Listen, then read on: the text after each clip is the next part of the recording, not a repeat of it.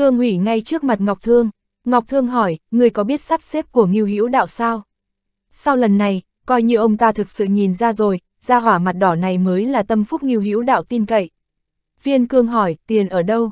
Hắn ta vừa hỏi, Ngọc Thương lập tức biết quả nhiên Ngưu Hữu Đạo có dặn dò, nghiêng đầu ra hiệu, Độc Cô Tĩnh liền tiến lại, lấy ra 30 tấm ngân phiếu của tiền trang thiên hạ. Viên Cương kiểm tra đủ mới cất đi, Ngọc Thương hỏi, bí phương ở đâu? Ta không viết chính xác bí phương ngay được. Ngọc Thương xa sầm mặt lại, cái gì là viết không chính xác? Không cần ngươi viết, như Hữu đạo nói bí phương giấu ở đây, ngài ấy không nói cho ngươi giấu ở đâu sao? Đi theo ta, trên lầu các, quản phương nhi biết Ngọc Thương tới, thấy mấy người vào viện tử của Ngưu Hữu đạo, lại thấy mấy người đi ra ngoài, từ trên nhìn xuống không biết họ muốn làm gì. Chỉ thấy viên cương dẫn sư đồ Ngọc Thương đi thẳng tới sơn động cất rượu, không bao lâu sau, viên cương cũng chạy tới. Viên phương vừa nghe nói viên cương dẫn người ngoài tới chỗ cất rượu bèn vội vàng chạy tới. Trong sơn động, thấy viên cương, viên phương hỏi, viên ra, tình hình thế nào rồi? Sao ngài lại dẫn người đến? Viên cương đáp, nói rõ quá trình cất rượu cho Ngọc Thương tiên sinh. a viên phương giật này mình, theo hắn ta đây là đồ của mình, sao có thể nói cho người khác biết? Đạo gia không ở đây, ngài không thể phá hư quy củ. Đây chính là ý của đạo gia. Viên phương nhất định không đồng ý, viên gia, ngài đừng lừa ta. Đạo gia đã tới bí cảnh thiên đô, lấy đâu ra ý của đạo gia. Mùi rượu nồng đậm, sư đồ Ngọc Thương ở bên cạnh quan sát tình hình sơn động cất rượu. Trong sơn động, các hòa thượng đang bận rộn lần đầu thấy có người ngoài đều dừng tay. Viên cương nói, Ngọc Thương tiên sinh tới từ phiêu miễu các. Nhanh lên, đừng có lề mề. Viên phương, làm sao ta biết là thật hay giả? Viên gia, không có đạo gia gật đầu, ta không thể đồng ý. Viên cương lạnh tanh nhìn hắn ta chằm chằm, chậm rãi đưa tay, cầm chuôi đao sau lưng, chậm rãi rút ra. Viên phương bị dọa đến hơi phát run, trước kia vị này chỉ động quyền cước, vậy mà lần này lại muốn động tới đao, quá nguy hiểm rồi. Hắn ta vội vàng đổi giọng, ý của viên gia chính là ý của đạo gia. Hiểu rồi, hiểu rồi. Thực ra hắn ta cũng hiểu viên cương cũng biết phương pháp cất rượu, nếu viên cương muốn nói ra hắn ta cũng không ngăn được. Đối mặt với uy hiếp từ vũ lực của viên cương, hắn ta không thể chống đối, chỉ có thể khuất phục làm theo. Bên này muốn đích thân chỉ dạy quá trình sản xuất, còn tỉ mỉ xác thực hơn cả xem bí pháp gì đó. Sư đồ Ngọc Thương lập tức phấn chấn tinh thần học hỏi, vừa học vừa hỏi, thậm chí độc cô tính còn ghi chép lại cẩn thận quá trình sản xuất. Tới khi nắm rõ phương pháp sản xuất, thưởng thức qua nguyên tương, khi họ rời sơn động thì đã nửa đêm. Ngọc Thương không có ý định ở lại lâu, đang định đi thẳng. Viên cương đưa tiến vẫn không nhịn được mà hỏi, có phải đạo gia đã xảy ra chuyện gì không? Hắn ta hiểu rất rõ nghiêu hữu đạo, giờ không cần dùng tiền gấp, nếu thực sự muốn đổi bí phương lấy tiền, sẽ không đổi vào lúc này. Trước đó, ngài ấy đã chuẩn bị, hiện giờ lại càng giống chuẩn bị hậu sự. Điều này đã nói rõ, đạo gia hoàn toàn không nắm chắc chuyện này, đang chuẩn bị cho bên này. Ngọc Thương trầm mặc một lát rồi đáp, ngài ấy không nói với ngươi trong thư sao. Không có, Ngọc Thương lắc đầu, ngài ấy đã không nói, ta cũng không tiện nhiều lời, an tâm chờ ngài ấy trở về đi. Đến lúc đó các ngươi sẽ biết, ông ta không tiện kể chuyện trong phiêu miếu các ra ngoài. Tình trạng thiên cốc đang bị phong tỏa, nghiêm cấm người ngoài ra vào. Bởi vậy, người ngoài không ai biết chuyện xảy ra ở thiên cốc, mà trước mắt, ông ta là người duy nhất ngoài phiêu miếu các biết chuyện, nếu tin này được truyền ra, phiêu miếu các sẽ nghi ngờ ông ta lắm miệng đầu tiên. Ngoài ra, ông ta còn lo lắng, nếu để người ngoài biết toa như lai đẩy như hữu đạo vào tuyệt cảnh, còn không biết bên Nam Châu này sẽ xảy ra chuyện gì. Lòng người khó dò, biết Nghiêu Hữu Đạo không về được, ai biết người Nam Châu có ném mình đi để tìm đường khác. Đây không phải là điều ông ta muốn thấy, chỉ cần có một chút khả năng nghiêu Hữu Đạo về được ông ta sẽ không làm bừa. Chuyện này có liên quan đến đại nghiệp của Hiểu Nguyệt Các, ông ta không hy vọng Nam Châu đại loạn. Viên Cương, nói cách khác, đạo gia thực sự xảy ra chuyện rồi sao? Ngọc Thương, không nên nghĩ nhiều, chỉ xảy ra chút chuyện thôi, nhưng đã qua rồi, trước mắt ngài ấy an toàn rồi, chỉ xem trong bí cảnh thiên đô có thuận lợi không thôi. Đúng rồi, nghe nói người có thể hóa giải khổ thần đan. Câu nói sau, ý vị thâm trường, chương 1129, hành tung quỷ dị 1. Ta biết ngài lo lắng chuyện gì, thực ra ta chưa từng dùng khổ thần đan. Hắn ta sẽ không thừa nhận chuyện này, nghiêu Hữu Đạo cũng đã liên tục thông báo cho ông ta, chuyện này không thể coi thường. Khổ thần đan là chỗ dựa cho Hiểu Nguyệt Các, có người có thể phá giải chính là tối kỵ của Hiểu Nguyệt Các. Ngọc Thương nhíu mày, ông ta đã từng hỏi nghiêu Hữu Đạo chuyện này, nghiêu Hữu Đạo cũng nói vậy. Đây cũng là điều ông ta lo lắng. Lúc trước, nhận được tin từ Tề Kinh báo lại là đã cho viên cương ăn khổ thần đan, nhưng sau khi xảy ra chuyện Tô Chiếu và Viên Cương bỏ trốn thì không dám xác nhận nữa.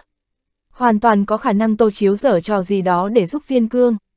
Tô Chiếu đã yêu Viên Cương, đương nhiên sẽ không trơ mắt nhìn hắn ta chịu cái tội ấy. Quả thực Ngọc Thương cũng không chắn chắn về điều này, biện pháp tốt nhất để xác định là cho Viên Cương dùng lại khổ thần đan một lần nữa, đương nhiên sẽ xác định được có thể hóa giải hay không. Nhưng từ khi hợp tác với Ngưu Hữu Đạo, nhất là với tình hình trước mắt, ông ta cũng không dám làm gì Viên Cương. Nếu Viên Cương không hóa giải được, dám hạ độc thủ thế này với thủ hạ tâm phúc của Ngưu Hữu Đạo, Ngưu Hữu Đạo sẽ trở mặt. Lui tới nhiều lần với Ngưu Hữu Đạo, ông ta đã lĩnh giáo được hắn khó chơi thế nào. Ví dụ như lần này, đến giờ ông ta mới hiểu được, không phải Ngưu Hữu Đạo không viết ra được bí phương, nào có phức tạp như hắn nói, rõ ràng là muốn ép đòi tiền hắn. Khách nhân đi rồi, quản phương nghi tới, bên cạnh viên cương, hỏi, đạo gia không ở đó, ông ta tới làm gì? Viên cương nói, đạo gia bảo ông ta tới. Quản phương nghi nghi ngờ, đạo gia tới bí cảnh thiên đô, làm sao ông ta liên lạc được với đạo gia? Ông ta tới phiêu miếu các, trước khi đạo gia đến bí cảnh thiên đô đã gặp đạo gia. Dứt lời, viên cương đã móc ra sấp ngân phiếu của thiền trang thiên hạ, đếm ra 20 tấm ngay trước mặt quản phương nghi, đưa cho bà ta, đạo gia cho ngươi. Quản phương nghi cầm lấy, lật ra xem, thấy mỗi tấm có giá trị hối đoái lên tới một triệu kim tệ. Nói cách khác, lần này hắn cho mình 20 triệu. Bà ta nhìn sang tay viên cương, xem chừng còn 10 cái, nghi ngờ hỏi, đâu ra lắm tiền thế.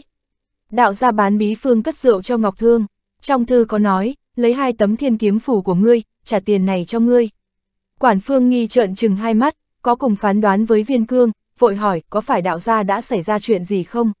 Không biết, hẳn là đã gặp phiền toái gì, ngay cả ông ta bản cũng ra tay rồi, nói cái thiên kiếm phủ đều là lấy cớ, tên kia xài tiền của mình còn khách khí sao? Đây là ngài ấy an bài hậu sự mà, thực sự có thể ngài ấy không về được. Quản phương nghi nhìn định mức ngân phiếu tiền trang thiên hạ trên tay mình, hốc mắt đỏ lên ươn ướt muốn khóc.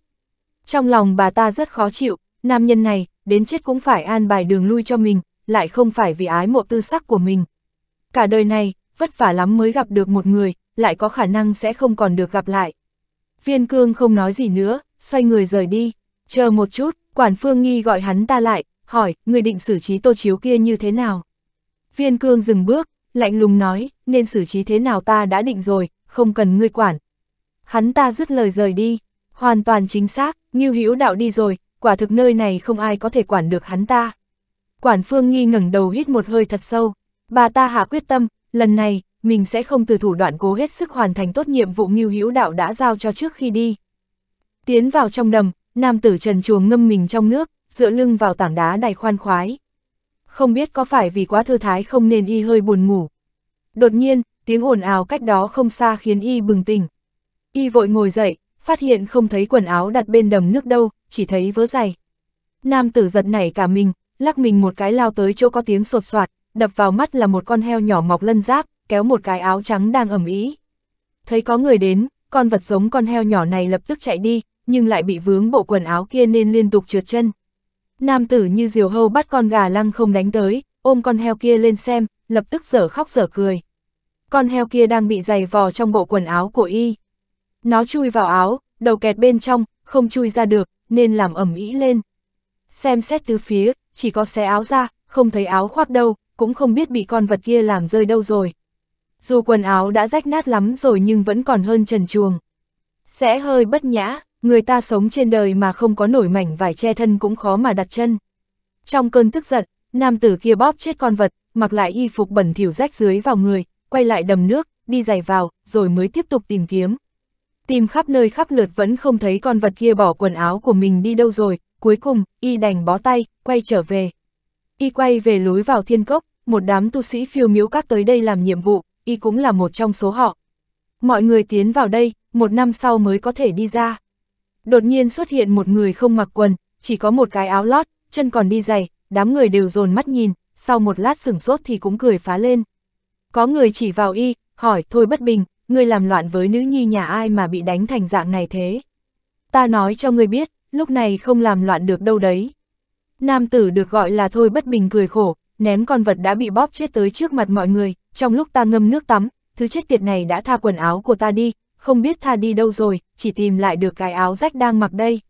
Nướng con xúc sinh này lên cho ta, không ăn nó không tiêu được mối hận trong lòng.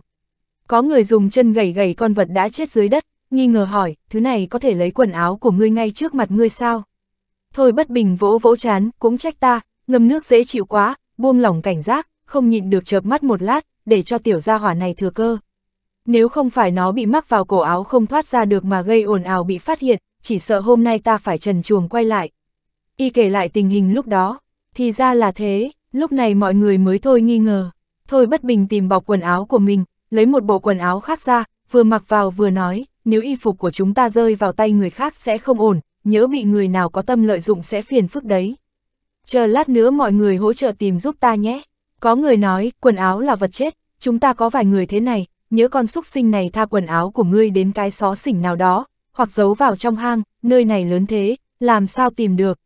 Có người khác lại nói, đáng lẽ ngươi không nên giết nó, nên thả nó ra. Nó bị sợ sẽ chạy về hang ổ, ngươi đi theo nó, không chừng lại tìm được quần áo đấy. Thôi bất bình vỗ vỗ chán, ừ nhỉ, sao ta không nghĩ tới. Có một bộ y phục, thôi quên đi, ai dám làm trò gì với phiêu miếu các của chúng ta chứ? Chúng ta cũng quan sát rồi, người các lộ đều đi xa cả, ai cũng muốn đi tìm linh trùng, trong có đủ linh trùng, không chịu nổi một năm trong bí cảnh, hẳn là sẽ không có ai quay lại đâu. Tuy nói vậy nhưng mọi người cũng chạy đến chỗ mất quần áo tìm khắp nơi, nhưng vẫn không thấy. Chỉ một bộ y phục, không thể cứ dây dưa mãi, về sau cũng chỉ có thể coi như thôi. Họ đoán chừng đã bị con thú kia tha đến xó xỉnh nào rồi, đến bọn họ cũng không tìm được, chắc hẳn những người khác cũng khó mà vô tình nhặt được. Vu Chiếu Hành, người muốn làm gì? Đứng trên trạc cây, trưởng ông ta tiêu giao cung Sơn Hải nổi giận, chỉ thẳng vào mặt Vu Chiếu Hành đang ngăn ở cửa hang, giận dữ mắng mỏ. chương 1130, Hành tung quỷ dị 2. Bên này đã nghỉ ngơi xong, đang muốn xuất phát, như Hữu đạo lại đòi bế quan tu luyện, tạm thời không định đi. Giờ còn bế quan tu luyện, nói đùa cái gì thế?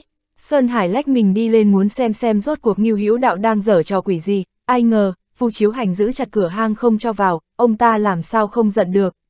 Vu Chiếu Hành bình tĩnh nói, không làm gì hết, từ xưa đến nay, việc gì ta đã đồng ý sẽ làm chắc chắn. Ta đã đồng ý với nghiêm huynh bảo vệ Ngưu Hữu Đạo thì sẽ làm được. Sơn Hải chỉ vào mũi ông ta, nổi giận mắng mỏ, Vu Chiếu Hành, ta khuyên ngươi đừng có lôi đan bảng ra mà kiêu căng. Mấy cái tên cứt chó trên đó đều là đồ chơi của chúng ta, nếu thật ra tay, không biết ai thắng ai thua đâu. Đừng có tự tìm phiền toái cho mình, không nghiêm trọng như ngươi nói đâu. Như Hữu đạo nói muốn bế quan 5 ngày suy nghĩ vài việc thật cẩn thận, không muốn bất kỳ kẻ nào quấy rầy. Ta đã đồng ý hộ pháp cho ngài ấy, ta phải tận lực mà làm. Đám người nước yên đang xem động tĩnh bên này, nghe câu bế quan 5 ngày suy nghĩ vài việc thật cẩn thận, trưởng ông ta Linh Kiếm Sơn trừ phong bình có vẻ suy tư. Trưởng ông ta từ kim động nghiêm lập lặng lẽ liếc nhìn phản ứng của trừ phong bình. Đột nhiên Sơn Hải gọi toáng lên vọng vào trong hốc cây, như hữu đạo, người ra đây cho ta. Còn không ra, đừng trách chúng ta mặc kệ ngươi. Trong hốc cây chẳng có phản ứng gì, dù trong đó có người nhưng lại không phải như hữu đạo, nên y không dám lên tiếng. Sơn Hải ý thức được có chuyện gì đó kỳ quặc, bèn trầm giọng nói, Vu Chiếu Hành, người tránh ra cho ta. Nếu không, đừng trách ta không khách khí. Vu Chiếu Hành kiên quyết, Sơn Hải trưởng ông ta, nói thật cho ngươi biết, ở Thiên Cốc, Ngưu Hữu Đạo đã bị Vạn Đồng Phúc và Minh Tinh ám toán mà bị thương. Hiện giờ là thời điểm mấu chốt để ngài ấy trị thương, không cho người khác quấy dày, nếu không rất dễ tẩu hỏa nhập ma.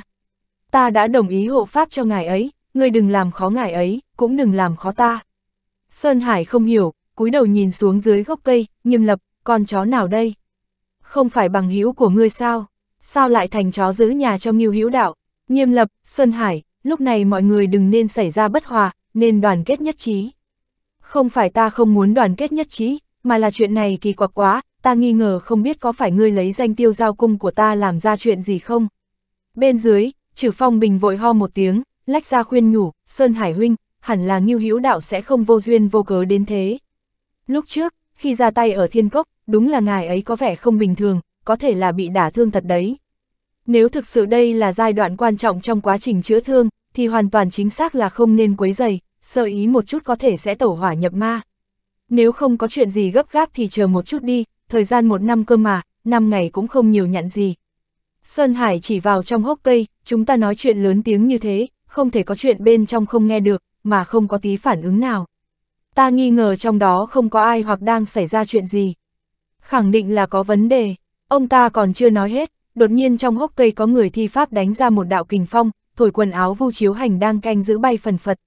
Trừ Phong Bình dừng ngựa, chỉ chỉ, ngươi nhìn đi, có người đấy. Người chết còn có thể thi pháp không? Có thể đúng là trước khi đại thành thì không thể nói được. Thực sự có người sao? Sơn Hải nhăn mày, trừ Phong Bình cưỡng ép kéo tay ông ta xuống dưới, tới trước mặt nghiêm lập, hỏi, Vu Chiếu Hành là do ngươi tìm đến, ngươi còn không tin bằng hữu của mình sao? Thấy ông ta bao che như thế, nghiêm lập thầm cười lạnh, thầm mắng ông ta già không biết xấu hổ. Nhưng ngoài mặt ông ta vẫn khẽ gật đầu đồng ý, Vu Chiếu Hành đã nói vậy sẽ không phải giả đâu. Sơn Hải, được rồi, trừ Phong Bình nói không sai, tiếc gì năm ngày, nhân cơ hội này, chúng ta bàn bạc hành động sau này một chút đi. Hai nhà cùng khuyên, Sơn Hải cũng chỉ có thể đồng ý. Hai nhà muốn ở lại, một nhà ông ta muốn đi cũng không ổn. Nhưng việc này vẫn khiến ông ta nghi ngờ. như Hữu đạo có liên quan đến lợi ích to lớn của nước Yên, chuyện Tử Kim Động và Linh Kiếm Sơn muốn làm, Tiêu Giao Cung cũng muốn làm từ lâu rồi, nhưng Thương Chiêu Tông giết trưởng ông ta Tiêu Giao Cung thi thăng lại khiến cho hai bên nảy ra mâu thuẫn nên bị chậm trễ. Xem thái độ hai nhà, Sơn Hải bắt đầu nghi ngờ ý đồ của họ. Vu Chiếu Hành rũ mắt nhìn đám người bên dưới. Lúc trước, Ngưu Hữu đạo có dặn ông ta, người của Linh Kiếm Sơn và Tử Kim Động sẽ ra mặt giúp đỡ, ban đầu ông ta còn nửa tin nửa ngờ, giờ xem ra có vẻ không sai. Nhan bảo như vẫn thờ ơ lạnh nhạt, Vu Chiếu Hành trông coi cái hang kia không cho vào khiến cho nàng cũng thấy kỳ lạ. Nhưng có ông ta canh giữ ở đó, chẳng ai có cách nào đi vào xem thử thực hư. Có bóng người thấp thoáng trong rừng, Ngưu Hữu Đạo quay về, Vân Cơ phụ trách tiếp ứng đã chờ sẵn ở chỗ hẹn, thấy hắn, nhẹ nhàng thở ra, một mình ngươi vụng trộm chuồn đi làm muốn làm cái gì. Ha ha, ra ngoài thăm dò tình hình xung quanh, Vân Cơ tin được lời quỷ này của hắn mới lạ, người của ba phái đông như vậy, còn cần đối tượng bảo vệ đặc biệt là hắn phải tự mình mạo hiểm ra ngoài tìm hiểu tình hình xung quanh sao. Khi đi hắn không chịu nói, lúc về cũng không chịu nói, biết không hỏi được, nàng cũng không hỏi nữa. Mau về đi, tốc độ của mọi người bị ngài kéo chậm lại, bên tiêu giao cung phản ứng rất dữ. Như Hữu đạo ngẩng đầu nhìn trời, chờ lát đi, tối ta về. Cô về trước cùng nghiêm lập tìm hướng cho ta về, không được để ai phát hiện ra. Đã về rồi còn cần phải cẩn thận từng ly từng tí như vậy sao? Vân cơ cực kỳ nghi ngờ, không biết rốt cuộc hắn ra ngoài làm gì mà phải cẩn thận giữ bí mật hành tung như vậy. Tạm thời không nhắc tới nghi ngờ vô căn cứ trong lòng, nàng ta vẫn làm theo lời hắn. Trời tối, nghiêm lập bố trí xong phòng thủ một bên, Vân Cơ mới quay lại tiếp ứng Ngưu Hữu Đạo. Hai người cùng quay lại từ lỗ hổng phòng ngự kia, Ngưu Hữu Đạo vẫn dịch dung thành đệ tử Tử Kim Động tiến vào trong hốc cây. Vào trong đó, hắn lột mặt nạ, ra hiệu cho đệ tử Tử Kim Đông bên trong đổi y phục. Đệ tử đó cởi áo khoác của Ngưu Hữu Đạo ra, Ngưu Hữu Đạo dặn y thu lại Nguyệt Điệp, rồi lần sờ cởi áo khoác trả lại cho người đó trong bóng tối. Vị đệ tử này tự hỏi không biết hắn đang làm cái quỷ gì mà khó hiểu thế. Hai người sờ soạng đổi xong áo khoác, Ngưu Hữu Đạo mới cho y đi. Sau đó, hắn lại thả Nguyệt Điệp ra, Nhan Bảo như ẩn thân trên một nhánh cây cao cao, một ngón tay đẩy lá cây, mở pháp nhãn quan sát tình hình cửa hang của Ngưu Hữu Đạo, thấy đệ tử Tử Kim Động kia lại đi ra, không biết đang làm cái trò gì. Thực ra không phải chỉ mình cô ta đang nấp trên cây theo dõi, còn cả đệ tử Tiêu Giao Cung, trưởng ông ta Sơn Hải cũng đang chú ý. Trong màn đêm, có không biết bao nhiêu người đang hoài thai quỷ trong tâm. Trong hốc cây, Ngưu Hữu Đạo vừa ngồi xếp bằng xuống, nghiêm lập liền tới. Ngưu Hữu Đạo đã tính đến chuyện này, đệ tử tử kim động kia quay về, ông ta biết mình đã quay lại, chắc chắn sẽ tới tìm mình. Nghiêm lập lách mình tiến đến, vừa thấy đã nổi, người chạy đi đâu đấy. Ngưu Hữu Đạo mỉm cười đáp, thực ra cũng không có gì, đi liên hệ vài người có thể hỗ trợ, không tiện để người ta biết thôi. Người tới hỗ trợ, Nghiêm lập hỏi, ai? Ngưu Hữu Đạo lắc đầu không muốn nói, tránh lảng đi, không ai phát hiện ra ta rời đi chứ. Người bên ngài có chắc chắn không? Ngài vừa đi tôi liền điều người từ hướng đó đi, bên tử kim động không ai nhìn thấy, người biết sẽ không nói lung tung. chương 1131, không ép, vậy là tốt rồi, Ngưu Hữu đạo khẽ gật đầu, lại hỏi, bên trừ phong bình ứng đối thế nào? Nghiêm trưởng lão có nghĩ được biện pháp không? Nói tới đây nghiêm lập cũng hơi đau đầu, ngồi xếp bằng xuống trước mặt hắn, lão gia hỏa không biết xấu hổ này, lại dám đưa nữ đệ tử vào vì chuyện này, đây là muốn làm thành chuyện tốt ngay trong bí cảnh thiên đô đây mà. Sau đó ngài sẽ không còn đường lui nữa. Mấu chốt là, muốn bảo vệ ngài, nhất định ngài phải được cả nước yên ủng hộ, nhất là yêu cầu đứng hạng nhất mà toa như lai đưa cho ngài, không tập trung tất cả linh chủng mọi người tìm được dồn cho ngài, sẽ rất khó mà đứng hạng nhất. Bây giờ ngài từ chối trừ phong bình sẽ không có chuyện đó. Ôi, nghĩ tới nghĩ lui tôi vẫn không có biện pháp gì tốt. Vừa mới nói xong, có tiếng trưởng lão tiêu giao cung Sơn Hải ngoài cửa hang vọng vào, vu chiếu hành, người tránh đi cho ta. Ta thấy nghiêm lập vào rồi, đừng có lấy lý do không nên quấy rầy gì đó lừa gạt lão tử. Cùng nghiêm lập nhìn nhau, như Hữu đạo lên tiếng nói, vu tiền bối, cho ông ta vào đi. Một cái bóng lóe lên, Sơn Hải vào ngay lập tức, đứng trước mặt hai người, nhìn hai người từ trên xuống dưới dò xét một hồi, hai vị trốn ở đây mưu chuyện bí mật gì vậy? Nghiêm lập thở dài, Sơn Hải, ông nghĩ nhiều quá rồi. Ta nghĩ nhiều sao, nếu không phải vì phát hiện ngươi tới, chỉ sợ Vu Chiếu Hành vẫn còn đang ngăn cản ta. Ngưu Hữu đạo lên tiếng, nghiêm trưởng lão, việc đã đến nước này, ta cũng không cần lừa Sơn Hải trưởng lão nữa. Nghiêm lập trừng mắt lườm hắn, không hiểu hắn có ý gì. Xem ra thật đúng là có chuyện gì đó giấu giếm ta. Sơn Hải hắc hắc cười lạnh, Ngưu Hữu đạo đưa tay ra hiệu mời ngồi, Sơn Hải không khách khí, lắc vạt trường sam, ngồi xuống xếp bằng. Không gạt Sơn Hải trưởng lão, ta gặp chút phiền phức. Trừ trưởng lão Linh Kiếm Sơn đã tới tìm ta. Ngưu Hữu đạo kể lại chuyện trừ phong bình ép mình cướp nữ đệ tử của ông ta, nói rằng mình tránh mặt không ra là vì không biết phải trả lời trừ phong bình thế nào. Sơn Hải vừa nghe đã biết trừ phong bình muốn làm gì, mới chửi ầm lên, họ trừ thực sự là không cần mặt mũi nữa mà. Mắng thì mắng, nhưng việc này đúng là vấn đề khó giải quyết, không biết thì thôi, biết rồi thì không thể cùng đối mặt, nhưng vì khốn cảnh trước mắt của Ngưu Hữu Đạo, khó khăn này thực khó xử lý. Ba người bàn tới bàn lui cũng không ra được biện pháp gì hợp lý, cuối cùng, Sơn Hải nghiến răng nói, nếu không thì hai nhà chúng ta sẽ giả bộ hồ đồ, ngài cứ cưới nữ nhân kia là được. Ngưu Hữu Đạo trợn mắt, ngài nói đùa cái gì thế? Trung thân đại sự có phải chuyện chơi đâu? Nghiêm lập nghĩ một lát, hỏi Sơn Hải, ý của ngài là muốn ổn định linh kiếm Sơn trước. Sơn Hải gật đầu, trừ phong bình đến đây mới bức bách ngài như vậy, hẳn là muốn uy hiếp ngài, khiến cho ngài không thể không từ, có thể nói, ông ta đã có dự mưu từ trước, ngài không tránh được. Cho nên, bây giờ cũng chỉ có thể làm vậy. Việc này khó giải, ngài cứ cưới tạm để ổn định trước đi đã. Chỉ cần ngài không ở chung với nữ nhân kia thì không lo không có cơ hội. Ông ta đưa tay làm động tác cắt cổ, nghiêm lập nhíu mày, hiểu ý ông ta, tới lúc đó sẽ xử lý nữ nhân kia. Nghiêu Hữu đạo sầm mặt, ngài nói chuyện không đau eo mà. Nghiêm lập thở dài, chuyện này đúng là ám muội thật, nhưng lúc này không thể thừa nhận đây thực sự là biện pháp tốt. Sơn Hải cũng khuyên, đúng là khiến ngài khó xử rồi, nhưng chúng ta cũng chỉ nghĩ cho ngài thôi, chẳng có cách nào khác.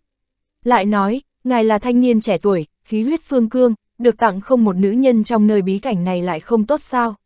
Chuyện tốt, đương nhiên, chơi đùa thôi là được rồi, đừng coi là thật, không cần để tâm đến những nữ nhân vì lợi mà đến này, lão đệ là người làm đại sự, trầm mình vì nữ nhân như vậy thực không đáng. Ngưu Hữu đạo trừng mắt rất bất đắc dĩ lắc đầu, chúng ta đều hiểu trừ phong bình đưa người tới tác hợp là có ý gì, là vì không muốn cho ta có đường lui. Để ổn định hai nhà các ngài, ông ta không thể để cho ta cưới nàng ấy ở đây, chỉ cần ta đồng ý, nghĩ bằng mông cũng biết ông ấy sẽ làm thế nào, có hứa hẹn cũng có thể đổi ý, căn bản ông ta sẽ không chịu tin, chắc chắn sẽ bắt ta tỏ rõ thành ý, chắc chắn sẽ ép ta phải gạo nấu thành cơm, khiến cho ta muốn đổi ý cũng khó khăn. Thời gian một năm đủ để châu thai ám kết, đủ để ta làm cho nữ nhân kia lớn bụng. Trước ổn định sau hạ thủ, đến lúc đó làm sao ta ra tay được, giết thê diệt tử sao, các ngài có chủ ý gì ngu ngốc thế, có vẻ như đúng là thế thật, Nghiêm Lập và Sơn Hải nhìn nhau, nhưng người khó xử không phải bọn họ. Sơn Hải đứng dậy, người tu hành khó tránh khỏi lựa chọn sinh tử, lựa chọn thế nào là do ngài, ta không ép. Dứt lời, ông ta rời đi, mặc kệ không quan tâm. Trong hốc cây im lặng một lúc, Ngưu Hữu Đạo nhìn theo Sơn Hải rời đi, lại nhìn chằm chằm phản ứng của Nghiêm Lập, không nói gì. Cuối cùng, Nghiêm Lập phá vỡ sự im lặng, từ tốn nói, lão đệ, có chuyện này nhất định ngài phải hiểu, nếu không có Linh Kiếm Sơn và Tiêu Giao Cung ủng hộ, chỉ còn lại một từ kim động ủng hộ ngài, thế càng yếu càng dễ bị ngoại địch tấn công. Từ kim động do ta dẫn đến, ta phải chịu trách nhiệm vì các đệ tử từ kim động. Nếu hai nhà bọn họ bỏ ngài, từ kim động ta cũng chỉ có thể tránh nguy hiểm. Ta không thể vì sinh tử của một nữ nhân mà không để ý đến sống chết của đông đảo đệ tử. Ta hiểu sự khó xử của ngài, đương nhiên, ta cũng sẽ không ép ngài, tự ngài suy nghĩ kỹ đi. Dứt lời, ông ta cũng đứng dậy rời đi, Ngưu Hữu đạo ngồi xếp bằng nhìn theo, khóe miệng nhếch lên cười lạnh. Không ép, đây không phải ép thì là gì, hai vị này không hề lo sợ hắn và Linh Kiếm Sơn sẽ giả đùa làm thật.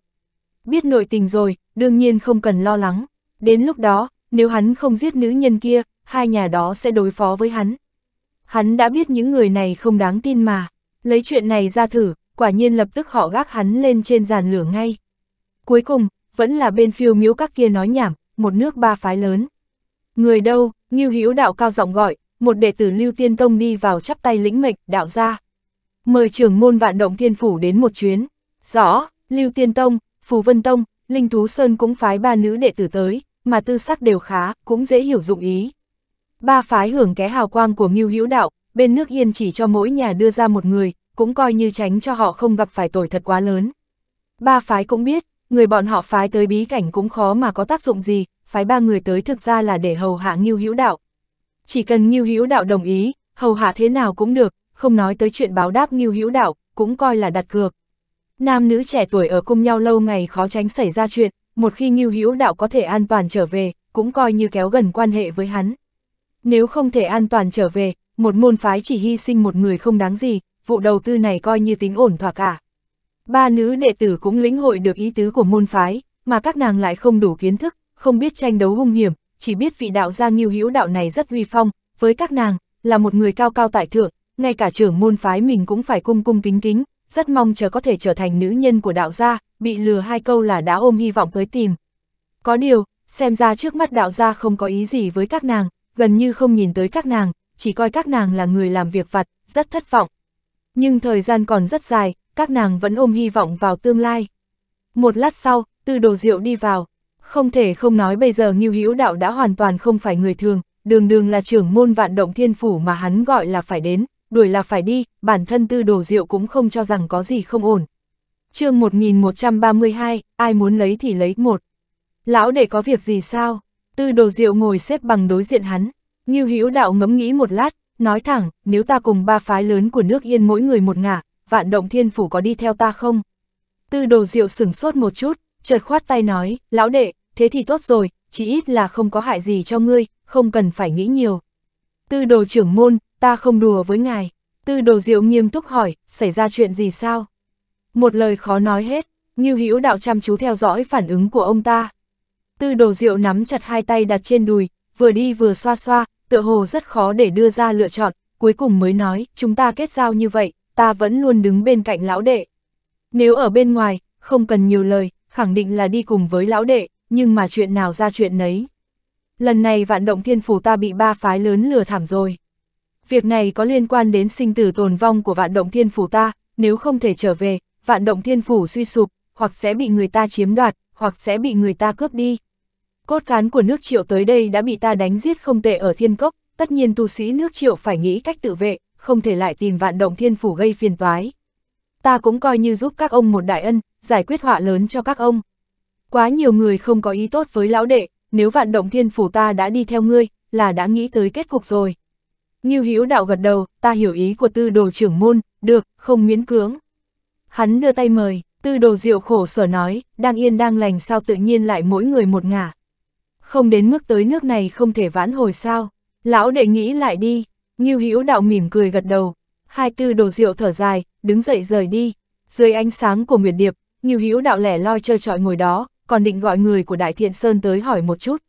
Nhưng nghĩ một lát, cảm thấy không chắc chắn, nói trắng ra, ngay cả vạn động thiên phủ cũng không muốn đi cùng hắn, Đại Thiện Sơn càng không cần nói. Nội thương tự mình tạo ra còn chưa khỏi hẳn, hắn lấy thuốc trị thương, uống một viên, bình tĩnh điều tức dưỡng thương. Hắn không thể cứ trốn mãi trong hốc cây, khó mà lường được thị phi ân oán sáng mai. Nơi đây ngày dài rằng giặc, đêm cũng như vậy, điều tức suốt một đêm, vết thương cũng được điều trị gần khỏi hẳn rồi. Trời tờ mờ sáng, như hữu đạo thu công, lặng lặng mở mắt ra, hắn nghiêng đầu nhìn về phía Nguyệt Điệp đang nghỉ ngơi trên bức tường đá, ánh mắt hắn sâu thẳm nhìn Nguyệt Điệp một lúc, sau đó lấy một hạt linh trùng, hắn dùng pháp biến chúng thành bột phấn rồi thả vào trong đồ ăn của Nguyệt Điệp. Cho đến lúc này, không có nhiều người tình nguyện đi theo hắn, chỉ có Nguyệt Điệp này hắn có thể hoàn toàn tin tưởng, rằng nó sẽ không bao giờ rời bỏ hắn, cho nên hắn tình nguyện lãng phí linh trùng, cho dù chúng sẽ rút ngắn dụng lượng của hắn lại, hắn vẫn luôn cố gắng hết sức để bảo vệ con Nguyệt Điệp này, cố gắng không để nó phải chết ở bí cảnh. Sau khi thu Nguyệt Điệp, Ngưu Hữu đạo chống kiếm đứng dậy, hắn đi ra khỏi cửa động, gật đầu với Vu Chiếu đang khoanh chân ngồi canh giữ ở ngoài động. Xuất phát, mặc dù Ngưu Hữu đạo đã lặng lẽ ra ngoài vài ngày, nhưng thời gian bế quan năm vẫn chưa kết thúc, có điều nếu như hắn quyết định xuất phát, tất nhiên người của ba phái lớn cũng không có ý kiến gì, cứ tiếp tục tiến lên.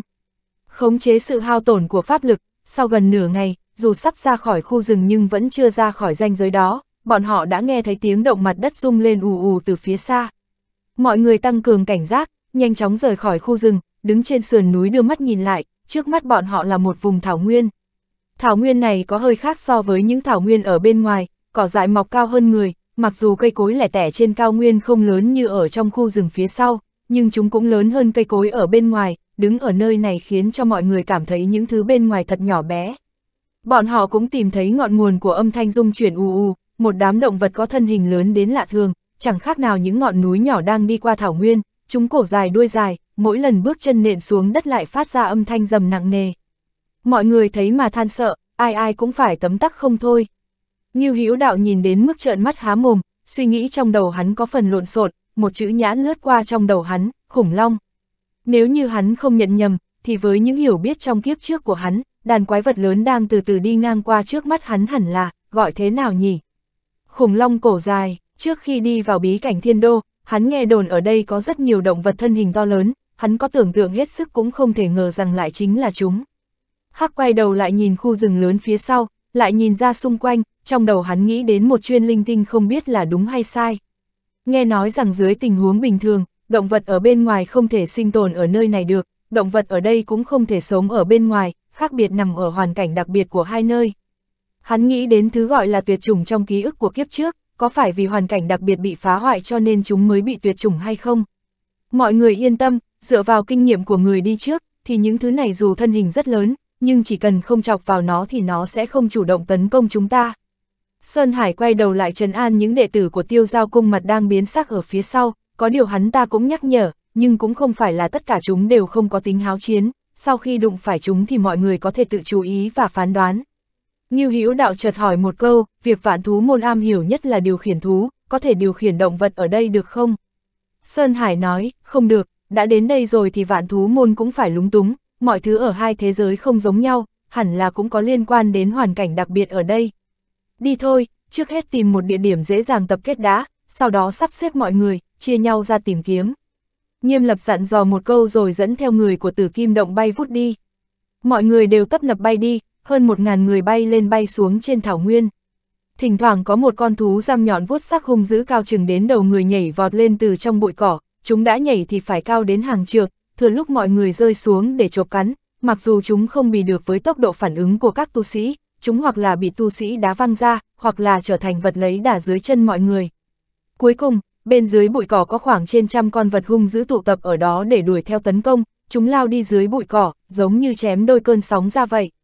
Nhưng bọn chúng không đuổi kịp tốc độ bay của tu sĩ, cuối cùng chúng chỉ có thể vung đuôi, chừng mắt nhìn theo tu sĩ đang đi xa dần. Sau một hồi lâu bay lên, mọi người rời khỏi thảo nguyên, xâm nhập vào một vùng núi rừng minh mông nhấp nhô. Dường như đa phần cây cối ở đây rất bình thường, mặc dù chúng vẫn cao lớn khác thường, nhưng lại không cao to đến mức khoa trương như cây cối trong khu rừng cổ kia. Có điều cây cối ở trong khu rừng cổ chỉ có một loại, còn ở đây thì lại là cái thực vật khác nhau sinh trưởng hỗ hợp. Vừa tiến vào khu rừng, ba phái lớn liền nhắc nhỏ các đệ tử đằng sau cẩn thận. Ngưu Hữu đạo hiểm sự cẩn thận này chính là, để che giấu không gian sinh tồn của các thực vật khác, khu rừng cổ đã phá hủy chuỗi thực vật, khiến cho các loài động vật khó mà sinh tồn được, sẽ không còn nhiều thú dữ nữa, khu rừng cổ khác với thế giới bên ngoài, ở đó, các loài thú dữ có thể đến săn mồi bất cứ lúc nào, nhưng con thú dữ hoang dã ấy không phân biệt được ngươi có phải là một tu sĩ siêu phàm hay không, mà chỉ cần có cơ hội chúng sẽ tấn công ngươi. chương 1133, ai muốn lấy thì lấy hai. Bay vọt trong dãy núi, một đám người chạy thẳng lên đỉnh ngọn núi cao nhất. Vận may khá tốt, bên trên đỉnh núi có một cái cây màu đen, cành cây màu đen kịt, lá cây rất thưa thớt, đây đúng là linh thụ. Kẻ nhanh tay nhất chính là người của tử kim động, bọn họ lao lên phía trước, vừa phát hiện ra linh thụ, bọn họ lập tức quét sạch số quả kết trái trên linh thụ. Mặc dù linh thụ này rất lớn, nhưng trên cây lại chỉ có 7 quả, 7 quả ở trên ngọn cao nhất của những cành cây lớn hướng lên trên trời, hình dáng như đang hấp thu tinh hoa của khắp đất trời. Trái cây cũng có màu đen kịt, Ngưu Hữu Đạo thấy nó như một cây dừa vậy. Trái cây vừa được hái xuống, một cảnh tượng khó tin cũng xuất hiện, dường như tinh khí của cả linh thụ cũng đều bị hái xuống, dường như cây đại thụ không còn có thể chịu đựng được sức nặng nào nữa, cành cây răng rắc gãy xuống, phần thân cây còn lại cũng nhanh chóng mục giữa, cuối cùng tất cả sập xuống.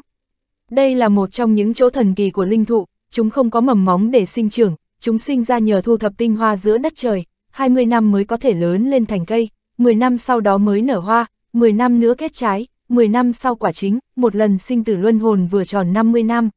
Linh trùng bên trong trái cây chỉ có thể tồn tại ở đây tối đa là 5 năm, sau 5 năm, chúng sẽ trở nên tăm tối, cuối cùng sẽ tiêu tan trong sự tăm tối đó.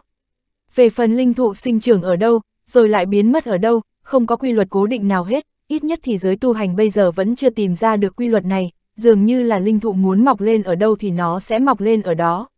Mặc dù người của tử kim động nhìn thấy cây linh thụ đầu tiên nên chiếm được quả trước, nhưng tình trạng tranh giành cũng không xuất hiện, tàn sát lẫn nhau vì một thứ đồ nhỏ thế này là không cần thiết. Có điều mấy phái cũng triệp tập mọi người ra nhìn theo bọn họ định làm thế nào với linh trùng đó. Quả thật trái cây rất cứng rắn, phải dùng pháp mới có thể phá vỡ chúng được, sau khi phá vỡ ra, có thể ngửi thấy một mùi thơm âm ỉ thấm vào ruột gan, thịt quả ở bên trong đã thành từng múi, từng hạt linh trùng kết lại ở bên trong, dày đặc, hạt lớn hạt nhỏ như những hạt vừng, màu tím trong suốt long lanh. Số lượng trong các quả giống nhau, mỗi quả đều có vừa tròn 700 hạt linh trùng, tức là mỗi một cây linh thụ có thể thu thập được gần 5.000 hạt linh trùng. Nhìn qua thì số lượng không ít, nhưng thật ra thì cũng chỉ là một nắm nhỏ. Như Hữu đạo đứng bên ngoài nhìn, xem như cũng được mở rộng tầm mắt. Sau đó, ba phái bàn bạc rồi quyết định, chọn đỉnh núi cao nhất ở đây làm điểm bắt đầu, sau đó mọi người tản ra các hướng, bắt đầu tìm kiếm trong phạm vi lớn, sau khi hẹn trước khoảng cách đại khái thì mọi người sẽ tập hợp lại, sau đó bố trí lại lần nữa, như vậy cũng là để thu thập thu hoạch trên tay của mọi người. Sau khi giao hẹn xong, người ở đoạn giữa, người ở cánh trái, người ở cánh phải, ba phái lớn mỗi phái phụ trách ở một nơi, đều đang bắt đầu tự sắp xếp. Như Hữu đạo không biết mình nên để bên nào sắp xếp, trưởng lão trừ phong bình của Linh Kiếm Sơn lại tìm đến hắn trước nhất, thấp giọng hỏi một câu, đã nghi xong chưa thế? Không đợi 5 ngày thì không được sao? Với cái đầu của ngươi, cần phải suy nghĩ lâu như vậy sao? Cứ kéo dài như vậy một, hai ngày cũng không có ý nghĩa gì.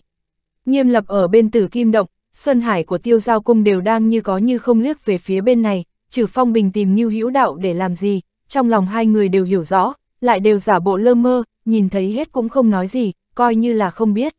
Là phúc thì không phải học, là họa thì không tránh được, cái gì nên đến thì cũng vẫn đến rồi. Trừ trưởng lão nói rất đúng, tâm trạng của Ngưu Hữu Đạo có phần nặng nề, hắn gần từng chữ, chuyện hôn nhân là chuyện lớn, không phải trò đùa, Ngưu Mỗ rất khó tuân mệnh. Sắc mặt của Trử Phong bình trầm xuống, lão đệ này, đây cũng không phải là nơi có thể làm việc theo cảm tính, nếu như ngươi vẫn chưa nghĩ xong thì ta cho ngươi đủ 5 ngày để suy nghĩ cho kỹ, nhất định không được làm việc theo cảm tính. Ngưu Hữu Đạo, trừ trưởng lão, sao phải ép buộc như vậy chứ? Chẳng lẽ không thể bàn bạc cách khác được sao? Trừ phong bình, cách khác, được, vậy ngươi thử nói ra một cách khác xem nào, chỉ cần ngươi có thể nói ra một cách có thể khiến ta hoàn toàn yên tâm, ta sẽ nghe theo ngươi. Không phải không có cách nào, Ngưu Hữu Đạo có thể nói ra một bí mật to lớn cho đối phương coi như là điểm yếu, nhưng nếu trừ phong bình hoặc Linh Kiếm Sơn không thừa nhận được sức mạnh của bí mật này, rất có thể họ sẽ trực tiếp bán hắn cho phiếu miểu các, mất nhiều hơn được. Nói trắng ra là, bản thân hắn cũng không có cách nào rất tốt, chỉ có thể im lặng. Trừ phong bình chừng mắt nhìn hắn một lúc, giọng nói dịu lại, lão đệ, tội gì phải tự làm khó mình như thế. Không cần phải vậy đâu, nếu không ta cho ngươi thêm một ngày nữa để suy nghĩ. Nghiêu Hữu đạo, mọi người hợp tác, ai ai cũng được lợi, tốt cho tất cả mọi người, việc gì phải ép người quá đáng như thế. Trừ phong bình, ta cũng muốn ai ai cũng được lợi, nhưng là do ngươi không chịu biết điều. Ta cũng đâu có ép buộc ngươi, nhưng ngươi lại mang theo một gánh nặng lớn, chúng sẽ rước đến rất nhiều phiền phức, nếu như Linh Kiếm Sơn không được lợi lộc gì, ta với ngươi lại không phải người một nhà, thì vì sao ta lại phải để cho đệ tử của Linh Kiếm Sơn hy sinh vì ngươi? Lão đệ, ta đối với ngươi đã là quá tốt rồi, người muốn kết hôn với đệ tử của ta có rất nhiều, rõ ràng là tác thành cho người một chuyện tốt không công như thế, người có cần phải khó xử vậy không? Chuyện tối đến vậy, có gì mà phải do dự chứ? Ngũ Hữu đạo bình tĩnh nói, ta đồng ý lấy nàng ta là được sao? Trừ phong bình, ít nhất là phải đồng ý đã. Có điều cưới luôn ở đây thì không hợp lý lắm, ta cũng không muốn để nàng ta chịu thiệt, qua loa cũng không được, chờ đến khi ra khỏi bí cảnh, ta sẽ tổ chức hôn lễ cho các ngươi. Đương nhiên, hôn lễ chỉ là một hình thức thôi, để ngươi thấy yên tâm, ta có thể giao người cho ngươi trước, có con rồi thì mọi người đều yên tâm. Không ngoài dự đoán, Ngưu Hữu Đạo đã đoán trước được ông ta muốn nói gì, hắn nâng tay ngăn lại, trừ trưởng lão, Ngưu Mỗ xin nhận ý tốt, nhưng ta thấy chúng ta không thỏa thuận với nhau được rồi. Sắc mặt trừ phong bình trở nên rất khó chịu, Ngưu Hữu Đạo, ta đã nể mặt rồi thì đừng có không biết xấu hổ, đừng có không uống rượu mời lại thích uống rượu phạt, nghĩ kỹ đi rồi hắn nói thì hơn. Ngưu Hữu Đạo cứng rắn nói một câu, ai muốn lấy thì đi mà lấy, nữ nhân của Linh Kiếm Sơn ta sẽ không để vào mắt đâu. Nói lời này ra rồi không khác gì đang công khai xé mặt nhau. Không còn cách nào khác, Ngưu Hữu Đạo không có khả năng làm theo lời đối phương nói, nảy sinh quan hệ với một người phụ nữ mà hiện tại hắn vẫn chưa biết là ai rồi tạo ra thế hệ sau để cho đối phương uy hiếp. Nếu như hắn thực sự đi đến bước đường cùng đó rồi, sau đó chắc chắn sẽ phải khuất phục để cô gái kia cho tiêu giao cung và tử kim động xử lý. Có một số việc hắn có thể bất chấp thủ đoạn để làm, nhưng đối với hắn mà nói, chuyện này không còn gì để thương lượng nữ, cũng không thể đồng ý được. Hắn không phải bậc đế vương kia, có thể làm mọi loại chuyện vì quyền thế địa vị. Nhưng đối phương khinh người quá đáng, ép buộc không tha, hắn có nói gì cũng không có tác dụng. Chỉ cần hắn không đồng ý, cho dù hắn có hạ thấp bản thân xuống đến đâu, nói chuyện tử tế như thế nào, người ta cũng muốn trở mặt thôi. Nếu đã như vậy thì hắn còn khách khí để làm gì nữa. Không cần phải làm khổ bản thân thêm nữa chương 1134, có cái nên làm, có cái không nên làm. Vẻ mặt trừ phong bình co giật, trên người hiện ra sát khí, có ý ra tay ngay tại đây. Như hữu đạo tránh ra, một tấm phủ thiên kiếm xuất hiện trên tay hắn. Phu hành giả vẫn luôn nhìn sang bên này vụt người chạy đến, ngăn ở trước người Ngưu Hữu Đạo, đứng đối mắt với Trử Phong Bình. Vân Cơ cũng như vậy, nhưng một cái vụt đến đây, bảo vệ bên người Ngưu Hữu Đạo. Nhan Bảo Như vẫn luôn âm thầm chú ý đến Ngưu Hữu Đạo cũng đang xem cảnh này, tình huống gì đây? Sao lại có cảm giác sẽ trở mặt nhỉ? Ánh mắt cô ta lộ ra vẻ cực kỳ hứng thú. Mọi người trên Linh Kiếm Sơn thấy vậy, nhanh chóng đến đây, cho dù bọn họ không hiểu rõ tình huống, nhưng rõ ràng là phải cổ vũ cho Trử Phong Bình rồi trưởng lão Sơn Hải của Tiêu Giao Cung và trưởng lão nghiêm lập của Tử Kim Động quan sát âm thầm từ trước cũng hiện đến, đứng giữa hai người, trung gian ngăn chặn hai bên, nghiêm lập làm người giảng hòa nói chuyện gì thế này. Sao lại như vậy, đang yên đang lành, đều là người một phe cả, sao lại phải dương cung bạt kiếm như vậy? Đúng vậy, Sơn Hải cũng đang giả bộ ngốc, vỗ vỗ tay, giải hòa hai bên, chử huynh, như hiếu đạo, có chuyện gì thì từ từ nói, người một nhà không cần phải nội chiến như vậy, hai người bớt giận đi, Loại người không phân biệt được tốt xấu như hắn, ta không thể ở chung được nữa. Trừ phong bình giơ ngón tay chỉ vào mũi nghiêu hữu đạo rồi mắng, sau đó vung tay đẩy người đang chắn ở trước mặt mình ra, các người tránh ra hết chi ta, hôm nay ta không thể không lột ra hắn, để hắn xem xem bản thân là cái gì. Trừ phong bình nói ra lời này, có cảm giác như đang thẹn quá nên giận, mà cũng đúng là thẹn quá nên giận, ông ta mặt dày tặng đệ tử nữ cho hắn, đối phương lại còn không biết ơn. Sơn Hải và Nghiêm Lập quay sang nhìn nhau, Nghe ông ta nói vậy thì cũng hiểu được, Ngưu Hữu Đạo đã từ chối yêu cầu của Trử Phong Bình rồi, không nghe theo lời bọn họ trấn an Trử Phong Bình trước. Trong lòng cả hai người trầm xuống, nhất là nghiêm lập, ông ta khuyên nhủ Trử Phong Bình trước, Trử Huynh, người trẻ tuổi chưa hiểu chuyện, nếu như có nói gì khiến Huynh không vui thì Huynh cũng đừng để bụng. Sau đó quay đầu trách Ngưu Hữu Đạo, Ngưu Hữu Đạo, còn không mau nhận lỗi với Trử trưởng lão. Ông ta là người không muốn chuyện này xảy ra nhất trong ba người, trong lòng có hơi nóng nảy rồi. Tay Ngưu Hữu Đạo nắm lấy thiên kiếm phù, lạnh lùng nói, không cần phải vậy chứ. Nghiêm lập lạnh lùng nói, cho dù ai đúng ai sai, người lập tức nhận lỗi với trừ trưởng lão trước đi. Ngưu Hữu Đạo lạnh lùng nhìn lướt qua, ta nói rồi, không cần thiết phải như vậy. Nghiêm lập không nói được gì nữa, có một ngọn lửa bùng phát ra, bởi vì ông ta cảm nhận được sự nghiêm túc, cứng rắn của Ngưu Hữu Đạo, cũng hiểu được ý nghĩ trong ánh mắt và giọng nói của Ngưu Hữu Đạo, chúng như đang nói. Còn dám tiếp tục ép buộc ông đây nữa, cẩn thân ông đây vạch trần hết những chuyện ông biết ra. Trưởng lão Sơn Hải của tiêu giao cung nhân mày lại, nhưng ông ta lại không nói thêm lời nào nữa. Tư đồ diệu âm thầm kêu khổ, tối ngày hôm trước Ngưu Hữu Đạo còn đến nói chuyện với ông ta, ông ta không hy vọng chuyện mà Ngưu Hữu Đạo nói sẽ xảy ra, nếu không ông ta sẽ rất khó xử. Đoạn đường vừa rồi còn yên lành đi cùng nhau, ông ta còn thở phào nhẹ nhõm rồi, ai ngờ tình hình lại đột nhiên thay đổi như vậy, thực sự khiến ông ta tiến thoái lưỡng nan. Bọn họ đang gây chuyện gì đây chứ? Vân Hoan cũng đang âm thầm kêu khổ, có điều hắn ta đâu được chọn lựa, chỉ có thể chậm rãi đứng ở bên cạnh mẹ mình, trừ phi hắn ta muốn trở mặt với mẹ mình. Đồ khốn nạn người muốn chết rồi, các người tránh ra. Trừ phong bình giận tái mặt, ngươi thử xem sao, xem xem ra có thể kéo một vài tên đệm lưng trên linh kiếm sơn này hay không. Ngưu Hữu đạo mạnh mẽ đáp trả, có ai không biết nói mấy lời tức giận chứ, hắn đã biết sẽ không đánh lại được rồi, nếu thật sự muốn ép hắn không còn đường lui nữa, vậy hắn chỉ có thể chuẩn bị trước tinh thần gặp chuyện, lo trước mắt trước rồi tính sau. Nói đến tên Linh Kiếm Sơn, đám người Linh Kiếm Sơn đương nhiên phản ứng lại, lần lượt rút kiếm ra. Dừng tay lại hết cho ta, nghiêm lập hét lên một tiếng, nhanh chóng tiến đến kéo cánh tay của Trử Phong Bình, mạnh mẽ kéo Trử Phong Bình sang một bên, Trử huynh, đừng kích động như vậy, ở đây có nhiều người, một khi giết nhiều hữu đạo rồi, lát nữa khó mà đảm bảo tin tức sẽ không truyền ra ngoài. Huynh đã nghĩ đến hậu quả nếu tin tức này bị truyền ra ngoài chưa? Chiến tranh chỉ đang tạm thời dừng lại, nếu như người này chết ở trên tay chúng ta, để thế lực Nam Châu biết được, không biết bọn họ sẽ gây ra chuyện gì nữa. Nếu như ông ta tiếp tục kiên trì, trừ Phong Bình không thể không nghe theo lời khuyên của ông ta, tử kim động không nên can thiệp vào, ông ta không có khả năng đánh cả tử kim động. Khuyên xong bên này rồi, nghiêm lập lại sang khuyên Ngưu Hữu Đạo, kéo Ngưu Hữu Đạo sang một bên, không hài lòng nói, Ngưu Hữu Đạo, người đang làm cái gì vậy, những lời lúc trước ta nói với người đều vô ích sao? Ngưu Hữu Đạo, nghiêm trưởng lão, ta không thể đồng ý với yêu cầu này của ông ta được.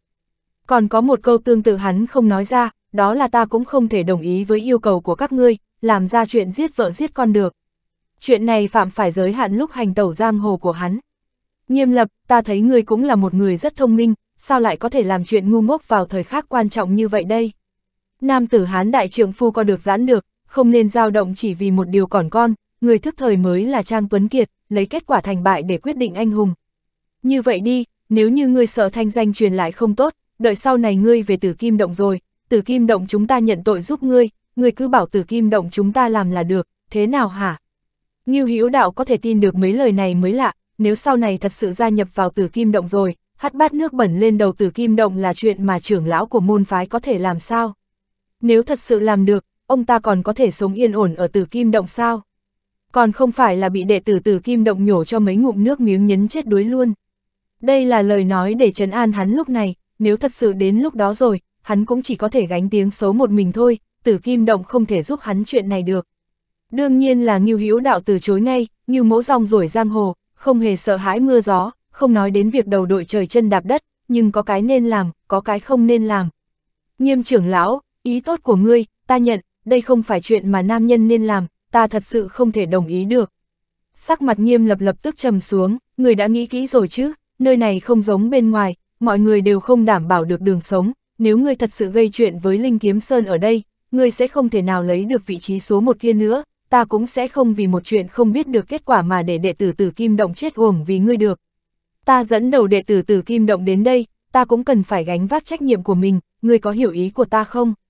Hiểu, đương nhiên Ngưu Hữu Đạo hiểu được ý của ông ta rồi, nếu không đồng ý, chọc giận Linh Kiếm Sơn, vậy lúc đó tử Kim Động chỉ có thể bỏ mặc hắn thôi. Giúp ta ngăn hai bên kia lại, cho ta cơ hội tự tìm đường sống cho mình. Ngưu Hữu Đạo đưa ra yêu cầu nho nhỏ này, đối với ông ta mà nói, chuyện này không tính là gì, chỉ mất công nhấc tay một cái mà thôi. Nghiêm lập đang cực kỳ mất hứng rồi, bởi vì Ngưu Hữu Đạo không nghe theo lời ông ta, trước khi đi, tông môn đã dặn dò lại nhiều lần, kết quả lúc này không phải là kết quả mà ông ta mong muốn, Nghiêm lập lập tức tạo áp lực với Ngưu Hữu Đạo, nếu ta không đồng ý thì sao? chương 1135, không muốn trở thành gánh nặng của đạo giác một. Ngưu Hữu Đạo, người không ngăn cản thì sẽ hối hận đấy. Nếu như ta dám trở mặt thì tất nhiên phải có chỗ dựa, ta muốn đi, không ai trong các người có thể ngăn được ta. Nghiêm lập cười lạnh một tiếng, dựa vào thiên kiếm phủ trên tay ngươi hay là vô chiếu hành. Được thôi, ta không nhúng tay vào, ngược lại ta muốn nhìn xem ngươi làm thế nào để thoát thân dưới tay người Linh Kiếm Sơn, xem xem Linh Kiếm Sơn có thể ngăn được ngươi không. Nghe ý nghĩ trong lời nói của ông ta rất có cảm giác trào phúng, giống như đang nói, lời khoác lác thì ai chả nói được, ý là nói ra thiểm đầu lưỡi. Ông ta ra vẻ muốn xem kịch hay, muốn thấy Ngưu Hữu Đạo tự rước nhục vào thân thế nào. Mắt Ngưu Hữu Đạo hiện lên vẻ tức giận, hắn thật sự muốn tỏ thái độ với ông ta ngay tại đây, nhưng mà chuyện gì nên nhịn thì phải nhịn, vì cơn giận nhất thời, cho dù về sau có thoát ra được thì cũng sẽ có rất nhiều phiền toái, có một vài thứ nếu như chưa đến đường cùng thì không nên động đến. Hắn không thể không nhịn cơn tức trong lòng xuống, giọng điệu hòa hoãn lại, nghiêm trưởng lão, lúc này giết ta không có ích gì cho tử kim động. Ngươi cho ta một cơ hội, chỉ cần ta có thể sống sót rời đi, chuyện sau đó ta sẽ tự mình nghĩ cách. Mấy ngày trước lúc ta rời đi một mình, cũng đã nói với người rồi, ta đã liên hệ với người trợ giúp, chỉ cần ta có thể thoát thân lúc này, cũng chưa chắc không thể rời khỏi bí cảnh thiên đô. Nam Châu đã an toàn rồi, có một số chuyện buộc phải đối mặt, hiện nay không tránh khỏi việc ba môn phái lớn tranh đoạt Nam Châu, ta không thể chân đạp ba thuyền được, chỉ có thể theo một phe. Nghiêm trưởng lão, ngươi cho ta một cơ hội, cũng giống như cho tử kim động một khả năng. Nhớ đâu ta có thể sống sót quay về thì sao? Bây giờ ngươi giúp ta, sau khi rời khỏi đây, giao hẹn giữa ta và tử kim động vẫn có hiệu lực như trước, bây giờ ngươi giúp ta, chúng ta vẫn sẽ là người cùng thuyền. Bây giờ ngươi giúp ta rời đi, cũng là để lại cho tử kim động một cơ hội có được Nam Châu trong tay. Cho dù về sau ta sống hay là chết, chỉ cần có một cơ hội, vì sao nghiêm trưởng lão không thử xem. Đối với ngươi mà nói, không hao tổn gì mà lại có thể thu được một cơ hội, chỉ là chút công sức còn con mà thôi. Nghiêm lập im lặng, Nghiêu Hữu đạo thuyết phục vào thời điểm quan trọng này rất có hiệu quả, Nghiêm lập dường như không có lý do gì để từ chối. Sau đó, Nghiêm lập lại ra mặt khuyên hai bên kia, thả Nghiêu Hữu đạo ra. Có Tử kim động nằm ở giữa, lúc này hai phe kia cũng không thể khơi dậy nội chiến được, trừ phong bình không thể không đồng ý. Về phía trưởng lão Sơn Hải của tiêu giao cung, từ đầu đến cuối vẫn không nói lời nào, bảo vệ Nghiêu Hữu đạo có lợi ích tốt, cũng có cái không tốt. Lợi ích là có thể ổn định thế lực chiến đấu bên ngoài của Nam Châu, cũng là bởi vì hai bên kia đã muốn giữ hắn lại, ông ta chỉ nghe theo mà thôi. Cái không tốt là, bảo vệ Ngưu Hữu đạo rồi, Nam Châu vẫn sẽ nằm trong tay Ngưu Hữu đạo, muốn tranh đoạt sẽ gặp phải khó khăn, quan hệ giữa Nam Châu và Tiêu Giao Cung rất căng thẳng, Tiêu Giao Cung cũng không hy vọng Nam Châu còn có thể dựa dẫm vào bọn họ. Cho nên đối với Tiêu Giao Cung mà nói, có bảo vệ Ngưu Hữu đạo hay không cũng không có gì khác biệt, đây là chuyện đã được nội bộ quyết định từ trước. Việc đã đến nước này, Sơn Hải chỉ khoanh tay đứng nhìn. Cút, trừ phong bình hét một chữ vào mặt Ngưu Hữu đạo, lạnh lùng vô tình, cũng không có tình cảm gì để mà nói nữa. Với ông ta mà nói, Ngưu Hữu đạo rời khỏi sự che chở của nước Yến cũng chỉ là một kẻ sắp chết mà thôi, cho dù có tránh được kiếp ở bí cảnh thiên đô này, cũng không thể trốn khỏi. Lúc trước vẫn còn là một đám người tốt, còn coi Ngưu Hữu đạo là đối tượng quan trọng cần được bảo vệ, nhưng một khi đề cập đến việc tranh lợi ích, nói trở mặt là trở mặt được ngay. Ngưu Hữu đạo không khiến mâu thuẫn trở nên gay gắt thêm nữa, ánh mắt nhìn sang đám người Nam Châu đến cùng hắn ở xung quanh, không biết có bao nhiêu người tình nguyện đi cùng hắn. Nhưng hắn vẫn là muốn tranh thủ một chút, hoàn cảnh trước mắt của hắn, đương nhiên là càng nhiều người giúp đỡ càng có thể chống đỡ nguy hiểm. Thế là coi nhẹ sự làm nhục vô tình của Trử phong bình, mỉm cười với nghiêm lập, nghiêm trưởng lão, vu chiếu hành vu tiền bối là bạn của ngài, có thể để vu tiền bối đi với ta không? Trước tiên nhắc đến vu chiếu hành, là hy vọng những người khác có thể nhìn thấy, bên này của hắn vẫn có cao thủ, muốn cho mọi người một chút lòng tin, nhằm lấy chút mặt mũi, có thể tranh thủ được bao nhiêu hay bấy nhiêu. Từ một góc độ khác mà nói, nói rõ hắn không có lòng tin với những người mà mình mang theo, bằng không trực tiếp gọi lên rời đi là được, không cần thiết quanh co như thế. Rõ ràng là người của ngươi, nghiêm lập nghe vậy kích động mắt trợn trắng, nhưng mà không còn cách nào khác, vẫn phải phối hợp diễn hết màn kích, không tiện tự mình chọc thủng bí mật của mình. Trừ phong bình đã lặng lẽ nhìn về phía nghiêm lập, ta cho ngươi mặt mũi, chẳng lẽ ngươi muốn phá đám ta? Nghiêm lập hiểu ý của ông ta, mặt không biểu tình nói, bằng hiếu thì bằng hiếu, ta cũng không thể tùy ý sai khiến, ta sẽ không miễn cưỡng ông ấy làm gì, ông ấy có đồng ý đi với đi với ngươi không, không phải do ta quyết định, ngươi hỏi bản thân ông ấy đi. như Hữu đạo quay người chắp tay với Vu Chiếu Hành, Vu Tiền Bối, lời hứa ta hứa với ngày sẽ thực hiện, mong rằng giúp ta một tay. Lời hứa, Vu Chiếu Hành rất muốn hỏi hắn một chất hắn đang nói bậy gì, người hứa với ta cái gì. Trừ Phong Bình lập tức nhìn chằm chằm Vu Chiếu Hành, dường như phát ra lời cảnh cáo không tiếng động. Nhưng mà Vu Chiếu Hành làm như không nhìn thấy, thản nhiên gật đầu nói, được. Ta đi với ngươi, Trừ Phong Bình sầm mặt lại, trong ánh mắt nhìn về phía Vu Chiếu Hành rõ ràng không có ý tốt, người sau vẫn như cũ làm như không thấy. Ngưu Hữu Đạo lại nhìn về phía Từ Đồ Diệu, Từ Đồ trưởng môn, hy vọng quý phái có thể cùng nhau lên đường với ta. Mặc dù sớm đã nói rõ, hắn vẫn không muốn từ bỏ, vẫn là muốn tranh thủ một chút. Người của vạn động thiên phủ đến lần này, đều là cao thủ hàng đầu chân chính trong vạn động thiên phủ, hơn nữa nhân số cũng không ít, ước chừng 50 người, nếu như có thể lôi kéo được vạn động thiên phủ, chính là một trợ lực cực lớn. Chân mày của trừ phong bình cao lại lên tiếng can dự, từ đồ diệu, là trưởng môn cao quý của một phái, lúc này lấy đại cục làm trọng, việc gì có thể làm, việc gì không thể làm, bản thân phải có chừng mực, đừng làm cho bản thân không thoải mái. Có một số việc không thể làm theo cảm tính, bằng không không gánh nổi hậu quả. Cái gì gọi là ngồi trên đống lửa, chính là cảm giác vẻ mặt khó xử lúc này của tư đồ diệu. Một bên là đồng minh hợp tác nhiều năm, nói lời giữ lời với Kim Châu, đại ân nhiều lần giúp đỡ vạn động thiên phủ của ông ta. Không nói thứ khác, chỉ nói Kim Châu đối mặt với thế tấn công của đại quân triều đình, là nghiêu Hữu đạo mạo hiểm tiếp cận đe dọa đại quân nước Triệu thả bọn họ tiến vào Nam Châu tránh họa, cũng là Ngưu Hữu đạo lấy thế lực Nam Châu giúp đỡ, không tiếc cái giá phải trả cùng liên quân Kim Châu liều mạng với đại quân nước Triệu. Về tình về lý, vạn động thiên phủ đều không nên vứt bỏ Ngưu Hữu đạo vào thời điểm này. Nhưng mà hiện thật rất tàn khốc, trong bí cảnh thiên đô rất nhiều thế lực muốn đối phó Ngưu Hữu đạo đã không còn là bí mật, nếu như đi theo Ngưu Hữu đạo, không khác nào tự tìm đường chết, hơn nữa còn đắc tội Linh Kiếm Sơn, sẽ càng thêm phiền phức. Bên ngoài, nước Yến và Kim Châu liên quân, Linh Kiếm Các cũng nắm giữ trong tay quyền lên tiếng rất lần, coi như có thể trở về, Linh Kiếm Sơn không tiện động thủ với người nước Yến của mình, thu thập một người ngoài vạn thiên động phủ của bọn họ rất khó khăn sao.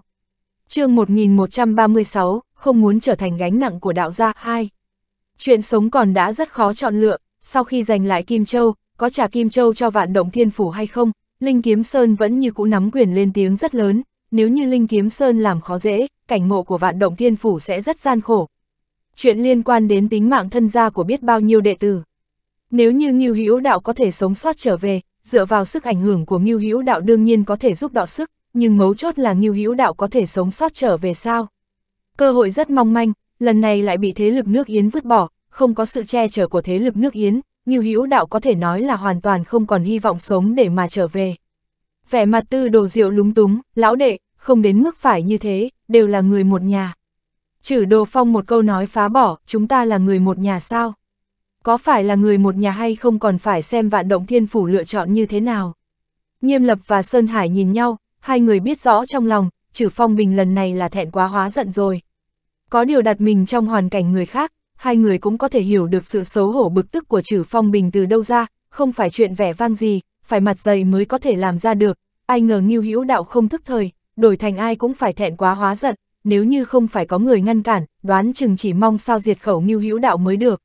Tư đồ diệu vô cùng lúng túng, nhưng vẫn là nói hộ giúp trừ trưởng lão, có chuyện gì dễ thương lượng, có mâu thuẫn gì có thể bày ra thương lượng giải quyết, có chuyện gì không thể thương lượng chứ. Ta thấy mọi người có thể nói chuyện lại một chút, trừ phong bình lại một câu cứng rắn ngắt lời, hỏi ngươi theo bên nào, không phải bao ngươi đến làm người hòa giải, đi hay là ở, nhanh chóng quyết định, ta không có rảnh nghe ngươi lắm điều. Lão đệ, tư đồ diệu không còn cách nào khác, vẻ mặt khó xử chắp tay nhìn về phía Ngưu Hữu Đạo, đây không phải là việc của riêng cá nhân ta, nỗi khổ tâm của ta ngươi hiểu rõ, thực sự xin lỗi. Lời này vừa nói ra, thái độ đã rất rõ ràng, một đám cao tầng của vạn động thiên phủ cũng rất lúng túng, đều có chút xấu hổ tránh né ánh mắt của Ngưu Hữu Đạo. Ngưu Hữu Đạo giúp đỡ vạn động thiên phủ nhiều việc như vậy, lại là đồng minh, vào lúc này thấy chết không cứu không khác gì thừa cơ hãm hại. Đặc biệt là trưởng lão Lê Vô Hoa, vẻ mặt càng hổ thẹn, Ngưu Hữu Đạo có thể nói là đã cứu con trai ông ta một mạng. Tâm tình Trử phong bình dường như vui vẻ không ít, mặt mang vẻ đắc ý, nhìn Ngưu Hữu Đạo hơi chút ý vị chế giễu, dường như đang nói, đây chính là kết cục khi đắc tội với ta. Ngưu Hữu Đạo cười, nhếch miệng ý khẽ cười, tư đồ trưởng môn nặng lời rồi, có thể hiểu được, không miễn cưỡng. Quan trọng là cũng không miễn cưỡng nổi, không thản nhiên đối mặt còn có thể như thế nào. Ngưu Hữu Đạo lại nhìn về phía đám người Đại Thiện Sơn, kết quả đám người kia gặp ánh mắt của Ngưu Hữu Đạo. Chỉ nhìn đến, từng người một hoặc quay đầu sang một bên ngắm nhìn phong cảnh, hoặc ngẩng đầu nhìn trời, hoặc cúi đầu tựa như tìm kiến. Thái độ đã nói rõ tất cả, lời Ngưu Hữu Đạo vừa đến miệng lại nuốt trở vào, ngay cả vạn động thiên phủ có mối quan hệ sâu đậm với hắn như thế cũng đưa ra lựa chọn như vậy, Đại Thiện Sơn có mối quan hệ tranh đua với hắn thì càng không cần nói. Nói cũng vô dụng, cũng không cần nói, nói ra là tự làm mất mặt. Ngưu Hữu Đại lại nhìn về phía Nhan Bảo Như ở trong đám người, cười hỏi, Nhan Đại Mỹ Nhân, có hứng thú đi với ta không? Nhan Bảo Như sừng sốt, không ngờ đến Nghiêu Hữu Đạo lại điểm đến mình, rất là bất ngờ, có chút lờ mờ, chúng ta có giao tình sao? Dường như chưa từng có bất kỳ tiếp xúc nào, thậm chí còn chưa từng nói chuyện với nhau qua một câu.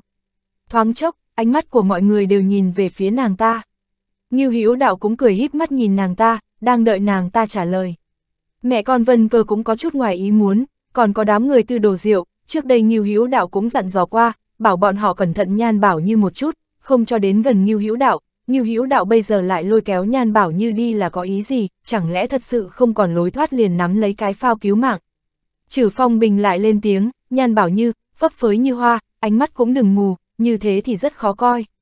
Trừ trưởng lão, người cũng đừng hù dọa ta, ta không bị lôi kéo.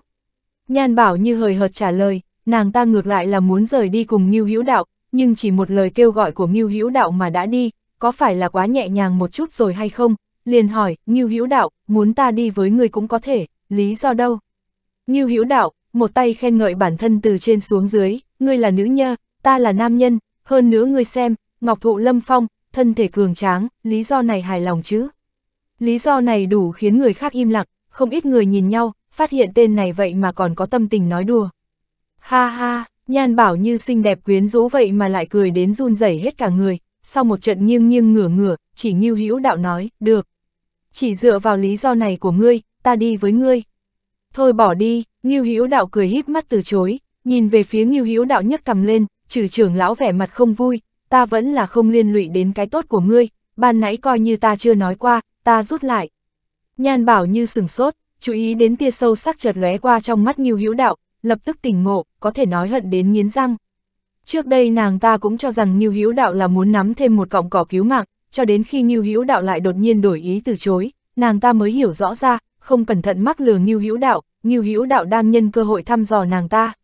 Người khác không biết có ý gì, bản thân nàng ta lại hiểu rõ mục đích đến đây của bản thân nhất, do đó cũng có thể nhạy cảm phát giác được manh mối tình hình, Nhiêu Hữu Đạo lật tay liền mò ra được nàng ta hướng ai mà đến. Mọi người rất kinh ngạc, nhàn Bảo như đồng ý đi với hắn, Nhiêu Hữu Đạo vậy mà từ chối. Ngưu Hữu Đạo vẫy tay gọi ba nữ đệ tử của Lưu Triều Tông kia, đi thôi. Nói rồi quay người mà đi, đi chưa được mấy bước, Vân Hoan nhẹ giọng gọi, Ngưu huynh. Ngưu Hữu Đạo nghe tiếng quay đầu, chỉ thấy ba nữ đệ tử vẫn chưa đi theo hắn, mà là vẻ mặt bứt rứt bất an đứng tại chỗ. Trừ Phong Bình liếc mắt, mặt lộ ra ý cười trêu tức. Ngưu Hữu Đạo chậm rãi quay người, chậm chậm hỏi, ba người các người muốn ở lại sao? Ba người phụ nữ tên gọi khác nhau Đồng Kim Hoàn, An Diệu Nhi, Lâm Phi Yến, bị Ngưu Hữu Đạo hỏi đến, rất lúng túng, cũng rất là bứt rứt bất an.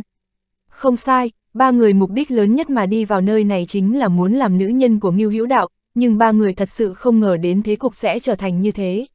Ngưu Hữu Đạo cao cao tại thượng trong lòng của bọn họ, thế mà trong nháy mắt lại trở thành cho nhà có tang, cành cây cao biến thành cành khô gần mục nát, chịu không nổi bất kỳ gió táp mưa sa nào, nếu như tiếp tục đi với Ngưu Hữu Đạo chính là tìm đường chết.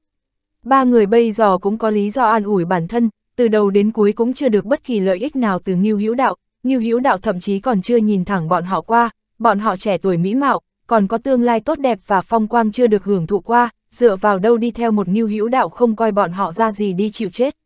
Nhưng lực uy hiếp của Ngưu Hữu Đạo ở Mao Lư Sơn Trang dù sao cũng thấm nhuần đã lâu, đối mặt với câu hỏi của Ngưu Hữu Đạo, ba người cực kỳ bất an nhìn nhau, không dám lên tiếng. chương 1137, dậu đổ bìm leo một.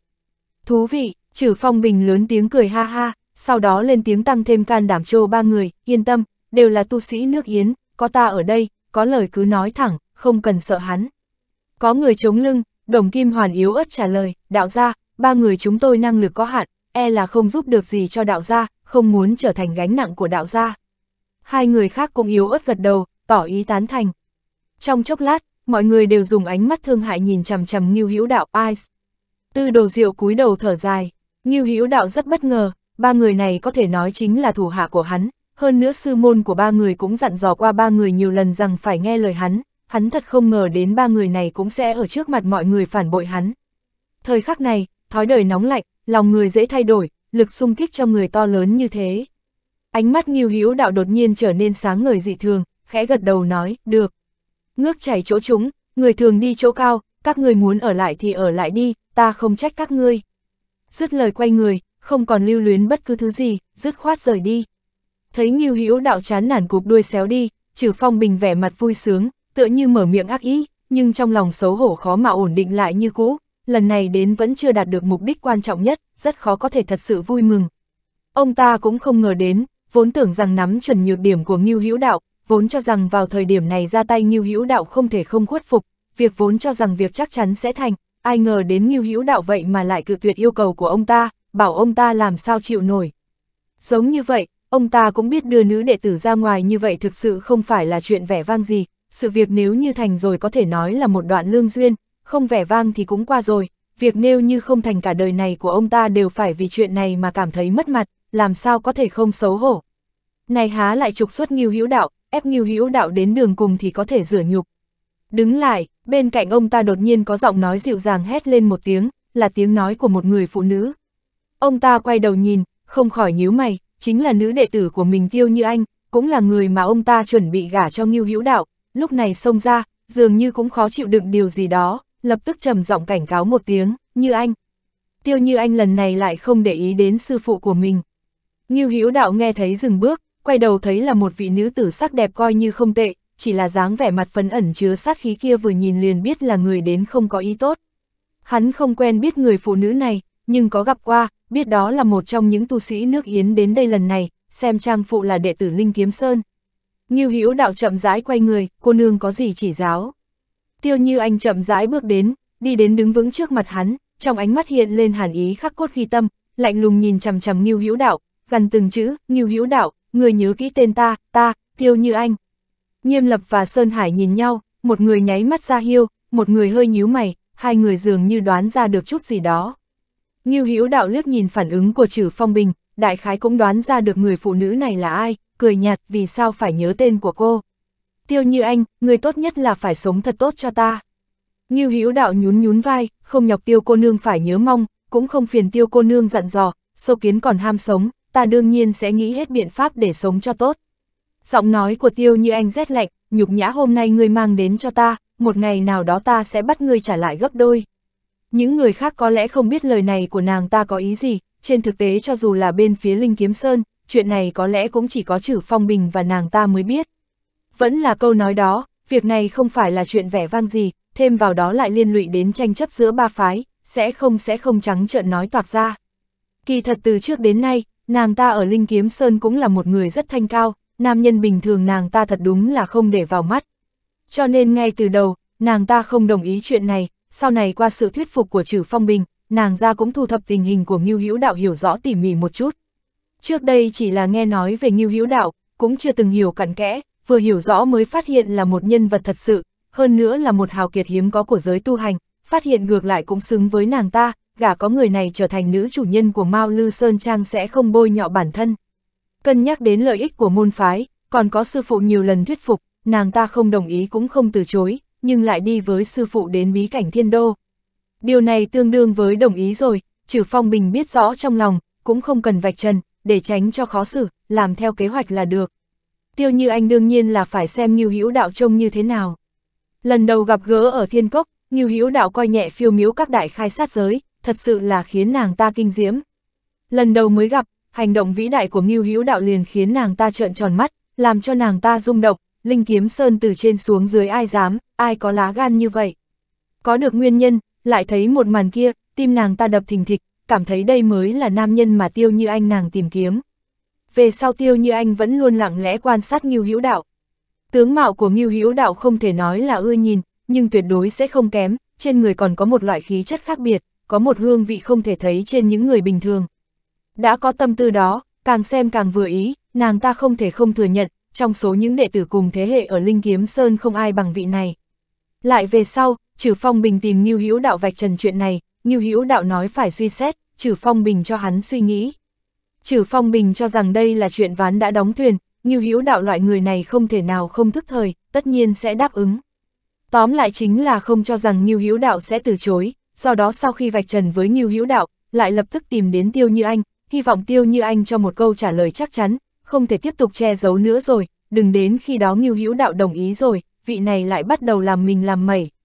Lần nữa được hỏi đến, Tiêu Như Anh cũng có chút khó mở miệng, chỉ hỏi một câu Ngưu Hữu Đạo sẽ đồng ý sao?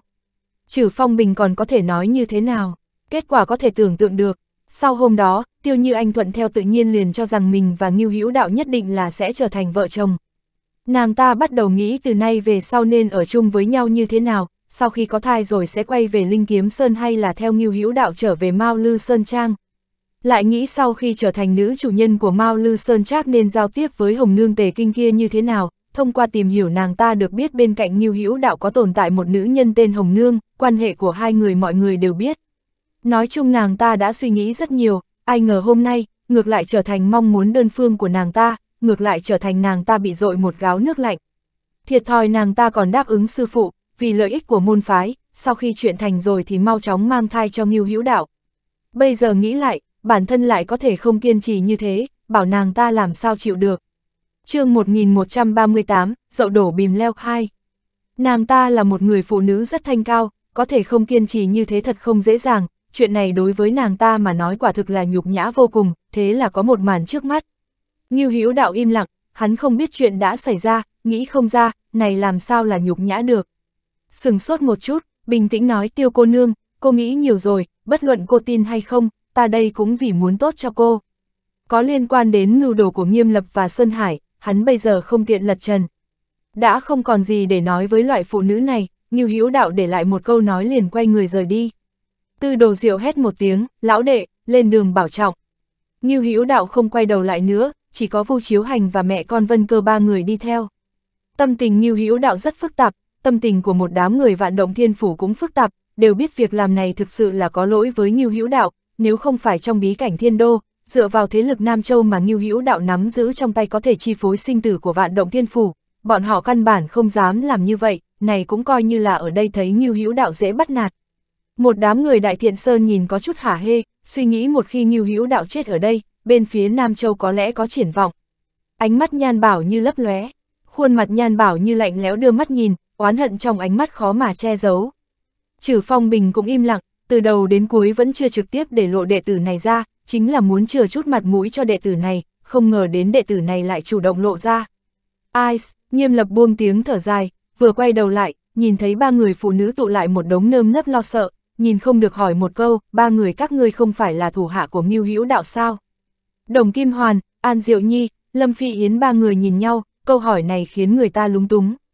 Chỉ có điều đối với nghiêm lập mà nói, cần phải quan tâm đến ba người bọn họ lúng túng hay không sao?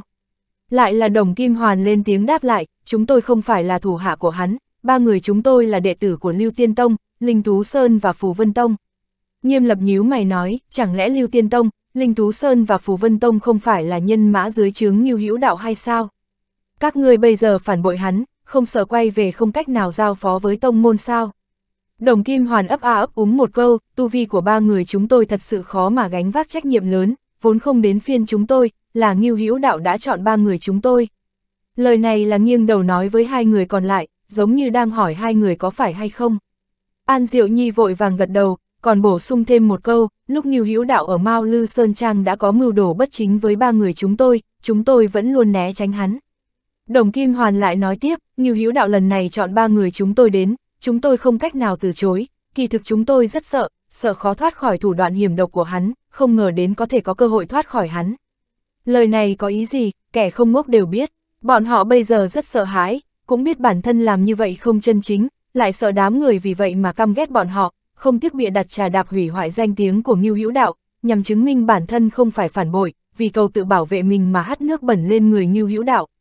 Đây chính là dậu đổ bìm leo mà mọi người thường nói, người thất thế bị những người xung quanh hiếp đáp, nhiều người thừa cơ hội đả kích khiến cho suy sụp hoàn toàn, vừa thấy Ngưu Hữu Đạo thất thế, liền lập tức muốn vạch rõ quan hệ với Ngưu Hữu Đạo, độc nhất là lòng dạ đàn bàn quả thật không nói sai. Sự việc thật hư như thế nào, Lâm Phi Yến biết rõ trong lòng, nhưng cũng không nói gì, chỉ cúi đầu. Mọi người bỗng nhiên tỉnh ngộ, thì ra là vậy, chẳng trách Lưu Tiên Tông ba phái lại phái ra ba nữ nhân tuổi trẻ mỹ mạo đến, hóa ra Ngưu Hữu Đạo ẩn chứa tâm tư dơ bẩn, đương nhiên rước lấy một số người vô liêm sỉ, tiếp tới đồng tình với ba nữ nhân này. Người phía này đã rời xa nước Yến, đám người như Hữu Đạo dừng lại ở một ngọn núi, không thể mù quáng chạy loạn, chuẩn bị lập lại kế hoạch một lần nữa. Nhìn xem người ở bên cạnh mình, chỉ còn lại mẹ con Vân Cơ và Vu Chiếu Hành. Đối với lần này, nếu như nói trong lòng như Hữu Đạo không chút cảm khái gì là không thể nào. Trước mắt, mẹ con Vân Cơ là bởi vì hắn nắm trong tay tử huyệt, không dám phản bội. Mà Vu Chiếu Hành cũng là bị ép bất đắc dĩ, hắn từng uy hiếp bên phía ma giáo, một khi hắn không thể sống sót trở về, thân phận che giấu của Vu Chiếu Hành sẽ lộ ra ánh sáng.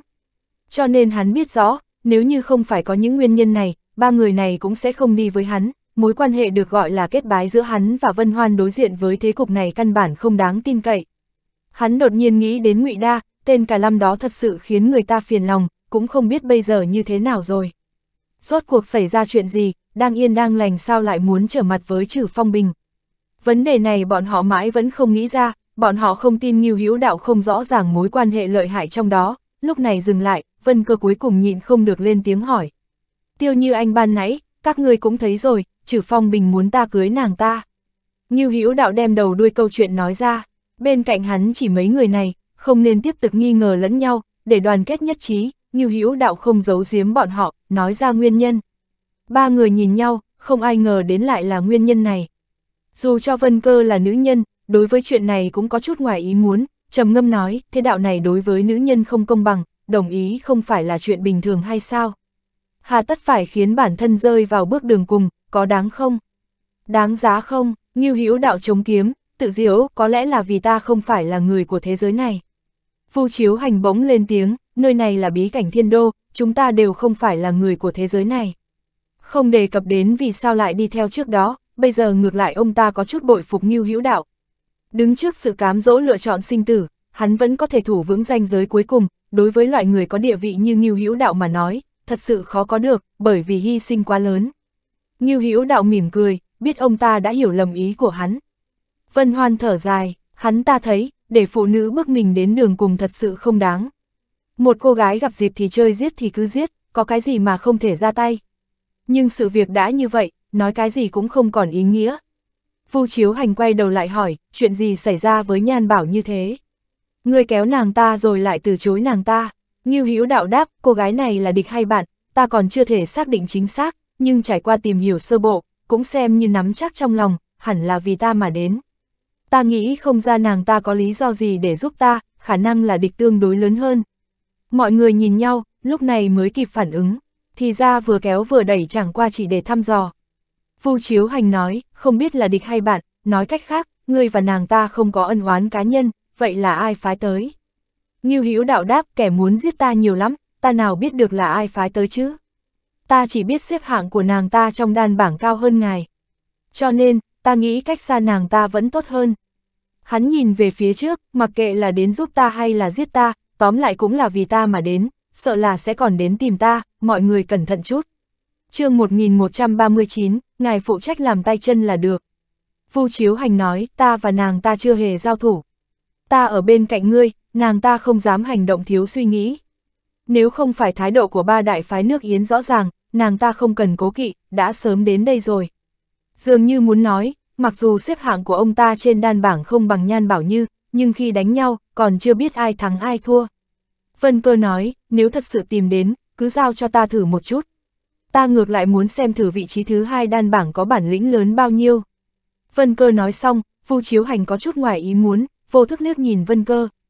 Vân cơ cũng vừa lúc liếc nhìn ông ta, mắt hai người chạm vào nhau. Từ ánh mắt của đối phương, Vu Chiếu Hành cảm giác lời này giống như đang cảnh cáo ông ta đừng làm loạn. Như Hữu Đạo cũng có chút ngoài ý muốn, không nghĩ đến Vân Cơ lại dám chủ động xin giao thủ với Nhan Bảo Như, không khỏi mỉm cười. Xem ra xà yêu kia cũng có chút nắm chắc, nếu không sẽ không dám nói ra những lời như vậy. Nhưng chuyện này đối với hắn cũng là chuyện tốt, cho nên hắn chỉ cười. Vân Hoan cũng bất ngờ, sau khi mẫu thân giao mọi chuyện cho hắn ta xử lý, đã rất nhiều năm chưa từng thấy bà chủ động qua như vậy. Nhưng hắn ta rất nhanh hiểu ra, mẫu thân tiềm ẩn nhiều năm, mắt thấy tâm nguyện sắp hoàn thành, không cam tâm chết ở đây. Nếu không ra sức đảm bảo cho Ngưu Hữu Đạo an toàn trở về, mẫu thân sẽ không chịu được những gì mà Ngưu Hữu Đạo đã chuẩn bị sau đó. Một khi tin tức bị truyền ra, cửu đại trí tôn truy sát đến chân trời góc biển cũng sẽ không bỏ qua cho mẫu thân. Chuyện cho đến nước này, mẫu thuẫn cũng chỉ có thể chủ động đánh ra. Vân cơ không nói đến vấn đề này nữa, nhan bảo như chỉ là quá trình, đối với Ngưu Hữu Đạo mà nói không phải là kết quả. Quá trình không quan trọng, nếu như gặp phải, nắm trong tay kết quả mới là việc mà ngươi cần phải đối mặt.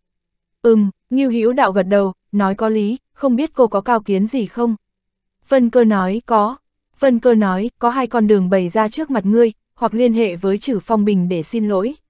Đối mặt với lợi ích to lớn, Trử Phong Bình sẽ bỏ qua cho ngươi, sự tình có thể vãn hồi. Ngươi trở về, có thể thu thập ba phản đồ kia. Ba ả tiện nhân đó, ngay cả ta cũng muốn làm thịt bọn họ. Ngưu Hữu Đạo nói, bọn họ chỉ là cầu sinh, còn ta sao lại không phải chứ? Ta và bọn họ không oán không cừu, so đo với bọn họ cũng không có ý nghĩa, cứ xem như vứt bỏ mấy thứ vướng víu. Vân cơ, con đường thứ nhất này không thích hợp cho ta đi, cô hãy nói ra con đường thứ hai. Vân cơ nói, con đường thứ hai còn muốn ta nói sao? Nó nằm ngay trước mắt ngươi, không cần lề mề, mọi người vất vả chút, tranh thủ thời gian tìm kiếm, nghĩ hết biện pháp tìm linh trùng, hy vọng vận khí của mọi người tốt, có thể tìm được một rừng rậm linh thụ, có thể thu được càng nhiều linh trùng càng tốt, xem như qua được cửa ải toa như lai. như Hữu Đạo nói, chúng ta chỉ có mấy người có thể tìm được bao nhiêu. Chỉ sợ chạy gãy chân cũng tìm không được nhiều, xác suất lấy được vị trí thứ nhất không cao. Biện pháp này của cô là biện pháp ngu xuẩn, không thể làm được. Vân Cơ nói, vậy thì ngươi hãy nói ra biện pháp thông minh đi. Hai tay Ngưu Hữu Đạo chống kiếm, chọc chọc trên mặt đất mấy lần, sau đó ngửa mặt lên trời thở dài, lẩm bẩm, tìm thì có được bao nhiêu đâu, cướp vẫn tốt hơn. Cướp, Vân Hoan chỉ vào mọi người, chỉ dựa vào mấy người chúng ta mà đi cướp được sao? Bây giờ ngươi né tránh thế lực khắp nơi còn không kịp, lại còn dám chủ động dâng mình đến cửa. Ngưu Hữu Đạo nói, không cướp thì làm sao bây giờ? Có một số việc, chăm chỉ cũng vô dụng thôi, ngươi sẽ không thật sự cho rằng chúng ta cố gắng tìm kiếm thì có thể giành được vị trí thứ nhất chứ. Tìm cây không bằng tìm người. Vân cơ hỏi, tìm người, ngươi có kế hoạch gì rồi sao? Ngưu Hữu Đạo đáp, chưa nói đến là kế hoạch hay không, hoặc tìm người cướp đồ, hoặc đoàn kết những người có thể đoàn kết. Nhiều người nhiều lực, ngoại trừ hai biện pháp này, ta thật sự không nghĩ ra được biện pháp nào khác. Ba người nghĩ lại thấy cũng đúng. Vu Chiếu Hành nói, muốn liên lạc nhân thủ, có thể tìm thử những người đứng ở phe trung lập. Vân Hoan nói, ví dụ như Vạn Thú Môn, Thiên Hành Tông, Khí Vân Tông, Linh Tông, những nhà này tương đối trung lập. Vạn Thú Môn, trong đầu Ngưu Hữu Đạo thoáng hiện lên hình ảnh Triều Kính. Có mối quan hệ với Triều Kính, hắn ngay cả ma giáo còn uy hiếp được, sao có thể buông tha cho Vạn Thú Môn.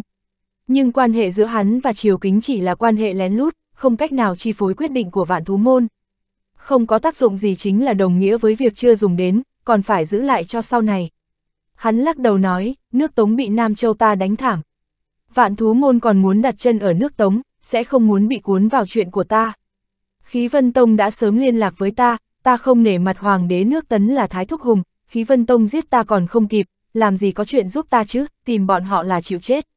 Linh Tông nước Tề cũng không đáng tin cậy, ta đánh bị thương đệ tử ba đại phái nước Tề, không biết có tránh né ta hay không. Còn Thiên Hành Tông, hai, phu nhân trưởng môn Thiên Hành Tông Đỗ Vân Tăng chảnh giành tình nhân với Hồng Nương bên cạnh ta, gây náo loạn một thời gian. Mặt mũi trưởng môn phu nhân bày ra đó, đệ tử Thiên Hành Tông giúp ta mới là lạ. Ta không trông cậy vào những người này được.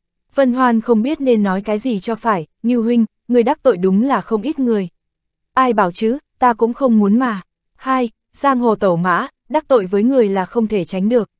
Ta không biết từ lúc nào đạp lên địa bàn của người ta, đắc tội với người ta.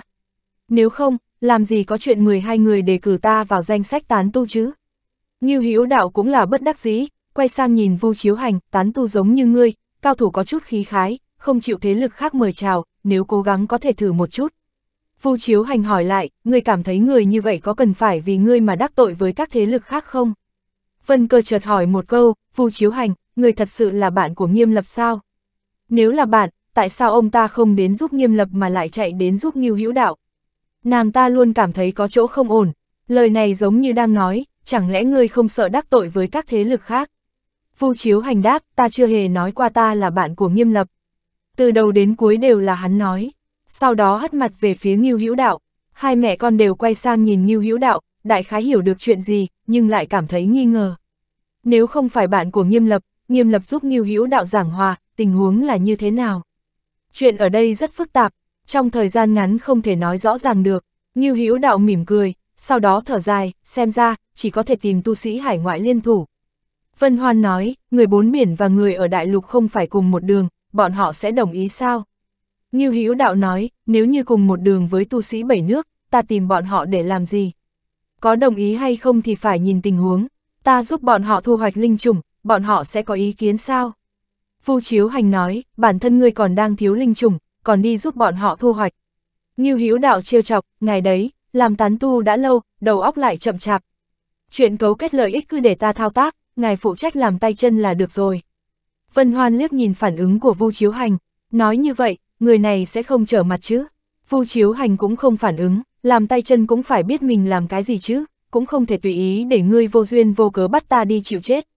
chương 1140, ngày thứ nhất, Ngưu Hữu đạo dựng thẳng ngón tay nói cho ông ta biết lợi ích. Vu Chiếu Hành nói, cái hiểu cái không, vẫn không hiểu. Ngưu Hữu đạo hỏi lại, các thế lực lớn đoạt linh chủng là vì cái gì?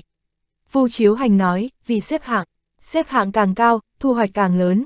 Như Hữu đạo nói, như vậy cũng chưa hết, linh chủng đưa hết cho ta, chỉ cần giúp ta lấy được vị trí thứ nhất, ta sẽ trọng thưởng toàn bộ cho bọn họ. Ta cần bảo đảm mạng sống, bọn họ cần bảo đảm tiền tài. Chỉ cần tất cả đều có lợi, có cái gì mà không được. Ba người bừng tỉnh, nghe hắn nói như vậy, ngược lại là một biện pháp khả thi. Vân cơ do dự nói, suy nghĩ này không sai, nhưng bọn họ chưa chắc sẽ hợp tác với ngươi.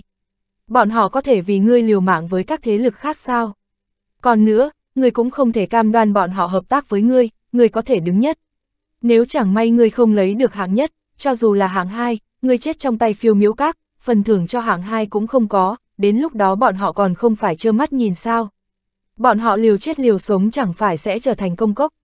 Chuyện này đối với bọn họ mà nói phong hiểm quá lớn. Nếu ta là bọn họ, ta sẽ không đồng ý hợp tác với ngươi. Như Hữu đạo nói, không đồng ý thì phải nghĩ cách cho bọn họ đồng ý. Mục tiêu đã định, nhất định phải đi theo. Thần cản giết thần, Phật cản giết Phật, ai cản ta đều phải chết. Chuyện cho đến bây giờ, ta cũng không còn lựa chọn nào khác, cũng không cách nào hiền lành được, chỉ còn con đường này thôi. Vân cơ thở dài, cũng chỉ như thế. Chỉ là thế giới này lớn quá, cũng không biết đám người hải ngoại kia đi đâu, nhất thời biết đâu mà tìm. Ngưu Hữu đạo nói, sẽ có người tìm giúp chúng ta.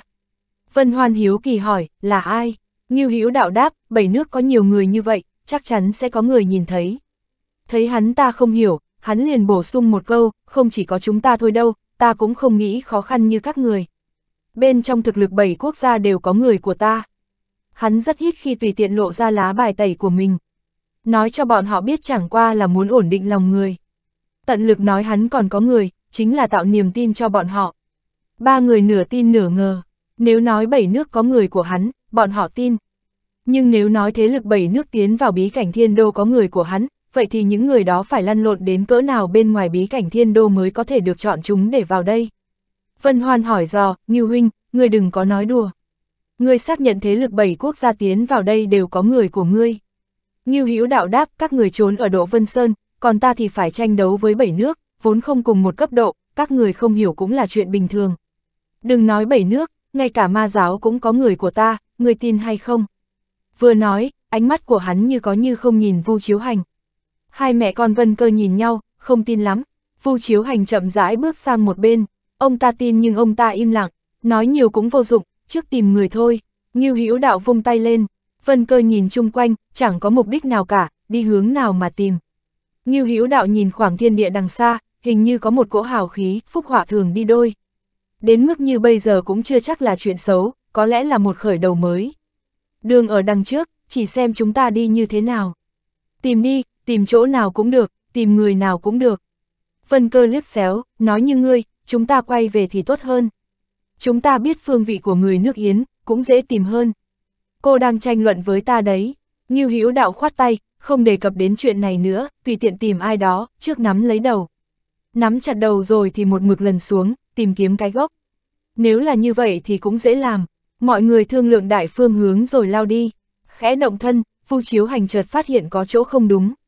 Ông ta đến là để bảo vệ hắn, tại sao bây giờ lại biến thành thuộc hạ của hắn, bất chi bất giác nghe theo hắn chỉ huy.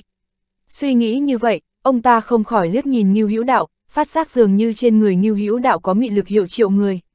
Trời cao đất rộng, tùy ý đi đâu cũng được, nhưng đường dài rằng rặc.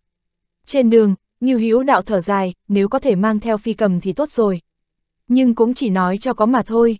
Đầu tiên, mang phi cầm vào đây là không tiện. Thế giới này có tính công kích phi cầm rất mạnh. Một khi xâm phạm vào lãnh địa của phi cầm nơi đây, sẽ gặp phải sự vây công của một đám phi cầm khác trên không. Chưa từng có tiền lệ mang phi cầm vào đây mà thoát khỏi cả. Về sau, phiêu miểu các mượn cơ hội lập ra quy củ, không cho mang phi cầm vào, nói là để cạnh tranh công bằng, tránh cho những người không có phi cầm phải chịu thiệt thòi. Dù sao những gì mà phiêu miểu các nói đều có lý. Nhưng đứng trên góc độ người bên ngoài nhìn vào, thế giới này thật sự là một thế giới mới, bất luận là cảnh hay là vật, còn có hoa cỏ kỳ dị năm màu rực rỡ, hợp thành một thế giới sóng dậy ầm ầm trước mắt. Cỏ so với người còn cao và to hơn, đứng ngang cùng cây cối lâu năm, kiến to như những chú heo con kết thành bầy săn đuổi thức ăn, va chạm với những hung thú giống như ngọn núi nhỏ. Bọn họ lướt qua những con cự thú đang ngủ say, hơi thở như ống bể. Hàng ngàn hàng vạn phi cầm hung mãnh không có lông giống như những con rơi cỡ lớn lao xuống tập kích. Coi bọn họ như thức ăn, hung hãn không sợ chết, giết không hết. Cuối cùng, chịu không nổi phiền phức, bọn họ bị bức phải chạy chối chết tìm chỗ ẩn núp. Thử hỏi trong tình huống này, phi cầm bên ngoài mang vào làm sao có thể sống sót. dước lấy phiền phức là vì suy nghĩ háo huyền của Ngưu Hữu Đạo, muốn dùng mấy con phi cầm cỡ lớn làm phương tiện di chuyển, kết quả rước lấy cuộc quần ẩu phô thiên cái địa, phải chen chân lẩn trốn trong một sơn động, khiến đám người vân cơ vừa bực vừa buồn cười.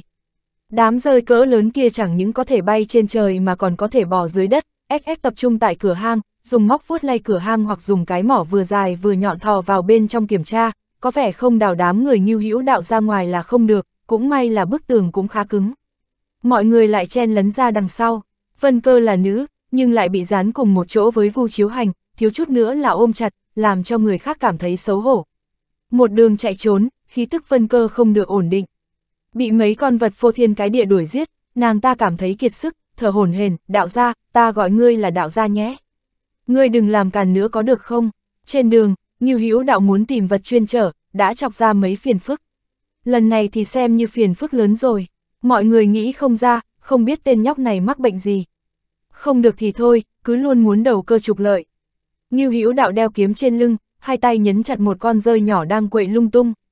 Con phi cầm này còn non, ngay cả kêu ếch ếch cũng không xong.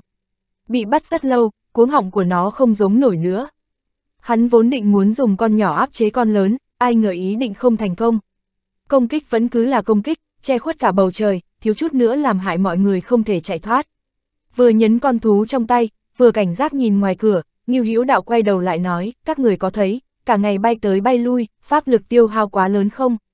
Bay nửa ngày đã muốn nằm nghỉ nửa ngày, nếu cả một năm đều như vậy, thật sẽ xảy ra vấn đề lớn, nhất định phải nghĩ biện pháp giải quyết. Vu Chiếu Hành thở dài, đạo gia, ta cũng gọi ngươi là đạo gia, hay ta gọi ngươi là đại gia có được không? Ngươi thấy không, vô dụng thôi, ngươi thả nó ra đi. Ngươi không thả con non, bọn chúng có chết cũng không buông. Vân Hoan than thở, Như huynh, thả ra đi. chương 1141, ta đã sớm không phân rõ mình là đen hay trắng một. Như Hữu đạo nói, một đám xúc sinh không chịu lui, có tin ta làm thịt nó hay không? Hắn nắm chặt cổ con thú, làm bộ đe dọa mấy con thú bên ngoài. Vu Chiếu Hành đưa tay nắm chặt bờ vai của hắn, chặn lại, ngươi đừng làm loạn, ngươi hoàn toàn không biết tập tính của bọn chúng. Ngươi giết con con, lại càng khiến chúng không chết không thôi. Vân cơ cũng cảnh cáo, nhiều hữu đạo, nếu ngươi còn làm loạn, đừng trách ta độn địa thoát thân mặc kệ ngươi luôn. Nếu không phải lo lắng tên nhóc chết cũng không hối cải, nhất định phải làm loạn này, nàng ta đã sớm độn thổ chạy thoát, sao có thể bị đuổi giết chật vật như vậy. Ngưu Hữu đạo nhìn dưới chân, ngoài ý muốn hỏi, cho dù có tảng đá dưới đất cô cũng có thể chạy thoát. Vân cơ nói, ta giết ra ngoài, có gì mà độn không được. Nhìn phản ứng của ba người, dường như muốn nổi giận. Mất nhiều thời gian, chạy trốn lâu như vậy, mệt như chó, Ngưu Hữu đạo thật sự có chút không cam tâm nhưng vẫn phải vứt con thú nhỏ ra ngoài. Con thú non nhảy tạch tạch, liều mạng bò ra ngoài. Những con lớn đứng bên ngoài tránh qua một bên để đón nó. Đợi con thú con đã hoàn toàn thoát thân, những con lớn di chuyển qua lại bên ngoài hang động một trận, cuối cùng thấy không thể đào ra được cửa hang, đành phải từ bỏ, lần lượt vỗ cánh bay lên không. Con con nhỏ kia còn chưa bay được, được một con lớn cặp móng sách đi. Bên ngoài yên tĩnh trở lại, Ngưu Hữu đạo rút kiếm bên hông, lén lút mò tới cửa hang, duỗi đầu ra nhìn khắp nơi. Xác nhận không có vấn đề gì, hắn mới yên tâm bước ra, cảnh giác nhìn bốn phía. Đám người vân cơ có chút chật vật bước ra, thấy những con thú đuổi giết bọn họ đã đi hết, tất cả đều thở phào nhẹ nhõm. Ta không tin, một nơi lớn và nhiều đồ như thế này lại không tìm được thứ gì đó có thể thay cho việc đi bộ. Ngưu Hữu đạo không cam lòng, lẩm bẩm một câu, Vân Cơ chỉnh lại quần áo, ta cảnh cáo ngươi, đừng làm loạn nữa, ta không đùa với ngươi đâu. Vừa mới nói xong, mọi người chợt quay đầu nhìn một bên, bên đó mơ hồ có tiếng bước chân nặng nề truyền đến. Một lát sau, một con hung thú răng nhọn móng sắt xuất hiện. Mọi người không nói hai lời, lách mình chạy đi, hung thú kia cũng không đuổi theo bọn họ, dừng bước trước xác phi cầm, cắn xé thi thể. Nơi này thường như vậy, mùi máu tươi sẽ dẫn đến những con mãnh thú có khứu giác nhạy bén. Tóm lại sẽ xuất hiện những tình huống ngoài ý muốn. Mặt sông đang đung đưa đột nhiên xuất hiện một cái miệng máu thật to tập kích. Khi thả người bay lên cao rồi nhìn xuống, bọt nước ầm ầm, một bóng hình khổng lồ quấy động trong nước, cũng không biết là con quái vật gì, người nhìn chỉ thấy hãi hùng khiếp vía. Khi đi qua một hạp cốc, lòng hiếu kỳ của Ngưu Hữu Đạo lại chọc ra phiền phức. Nhìn thấy có một đống đất lớn trên vách núi, bên trên đống đất đầy lỗ, hắn tiện tay rút kiếm thọc một chút, ai ngờ đụng phải tổ ong vỏ vẽ. Một đám ong rất lớn không ngừng chui ra từ đống đất. Trong lúc chạy trốn, Vu Chiếu Hành và hai mẹ con Vân Cơ không ngừng thoá mạ. Ngưu Hữu Đạo vội khuyên bọn họ bất giận, nói bây giờ không phải là lúc nội chiến. Mọi người bắt đầu cảm thấy thế giới này vừa mới mẻ vừa kích thích. Dựa vào thực lực tu sĩ bọn họ, việc ứng đối có lẽ không đến mức chí mạng nhưng khó lòng phòng bị. Lơ là một chút là có thể mất mạng ngay. Khủng long, dựa vào kiến thức hạn hẹp của Ngưu Hữu Đạo kiếp trước, động vật mà hắn biết thật sự có hạn. Còn phi cầm tẩu thú của thế giới này thật sự nhiều lắm. Người của bọn họ không nhiều nhưng cũng được xem là may mắn. Khi đi trong rừng, bọn họ gặp được một linh thụ. Nếu đã gặp rồi thì không có lý do gì để buông tha, ít ra có thêm nhiều linh chủng trên người cũng có thể phòng ngừa vạn nhất, có thể kiên trì thêm chút thời gian trong thế giới này. Linh thụ ầm ầm đổ xuống, Vân Hoan hái được mấy quả linh thụ lột lấy linh trùng Ngưu Hữu Đạo đứng trên ngọn cây một bên nhìn mặt trời lặn phía chân trời. Ánh sáng màu đỏ bao trùm thiên địa, đồng thời cũng nhuộm đỏ hắn luôn. Trời tối, bầu trời đầy sao, trong màn đêm có thêm hai mặt trăng, còn có một cái hình cầu, bằng mắt thường có thể nhìn thấy sự mấp mô trên đó. Nhìn sao trời, Ngưu Hữu đạo âm thầm cảm khái, không biết thế giới này là gì, cũng không biết nó nằm trong cái góc nào của vũ trụ. Mặc kệ là phàm nhân hay là tu sĩ, đối với vũ trụ thần bí, mênh mông khó lường này, bọn họ vĩnh viễn vẫn nhỏ bé như thế. Hắn vận dụng chút thị lực của mình muốn tìm một viên tinh cầu màu xanh lam nhưng tìm không thấy, vĩnh viễn tìm không thấy. Cuối cùng, hắn bị một cảm giác cô độc vây quanh. Trong màn đêm, mọi người núp trên cây nghỉ ngơi, nằm nghỉ trên mặt đất thật sự có chút nguy hiểm, cho dù là trốn trên cây cũng phải phòng bị mấy con độc trùng. Nhưng ngay lối vào khu rừng cổ xưa, ngược lại không bị mấy thứ này quấy dày. Mọi người thay phiên nhau gác đêm, Ngưu Hữu Đạo cũng không ngoại lệ, hắn nằm im lặng trên cây trong bóng tối, không dám thả ra nguyệt điệp, sợ rước lấy phiền phức. Một nhóm bị trục xuất, ngày đầu tiên cứ như vậy mà trôi qua. Trời sáng, mọi người tiếp tục tiến lên, trời đất bao la, nếu cứ đi không có phương hướng tìm gặp những người khác, thật sự là phải dựa vào may mắn. Đương nhiên, đây cũng không tính là thuần túy tìm vận may. Bọn họ nghĩ rằng, những người trước đó rời khỏi khu rừng cổ trong thời gian ngắn cũng không thể đi quá xa, cũng không cần chạy nhanh hơn người khác. Mọi người đến đây là để tìm kiếm linh trùng, đám người như hữu đạo làm việc không đàng hoàng, nên đi tương đối nhanh, theo lý hẳn là nhóm người đến trước. Bây giờ tìm kiếm, nhất định sẽ có cơ hội tìm được. Vân Hoan đúng là không may, đường đường là Sơn chủ độ Vân Sơn, lại trở thành người tiên phong, lãnh nhiệm vụ đi trước mở đường cho người khác. Giữa trưa, Vân Hoan bay về, thủ thế, mọi người lập tức ẩn mình vào trong rừng. Vân cơ hỏi, tình huống như thế nào rồi? Vân Hoan đáp, có người, nhìn quần áo có lẽ là người của thiên hành tông. Mọi người ẩn thân trong tàng cây nhìn nhau, trong bí cảnh thiên đô này, tốt nhất đừng nên gây chuyện với người của thiên hành tông, bởi vì trong tay người ta có rất nhiều phù triện. Mỗi một đệ tử tiến vào đều được phân phối, cũng không còn cách nào, ai bảo tông môn người ta luyện chế phù triện chứ. Người ta tất phải có tài nguyên về phương diện này, trong tình huống bình thường, sẽ không ai trêu chọc người của thiên hành tông, mà người của thiên hành tông cũng không muốn đoạt hạng nhất.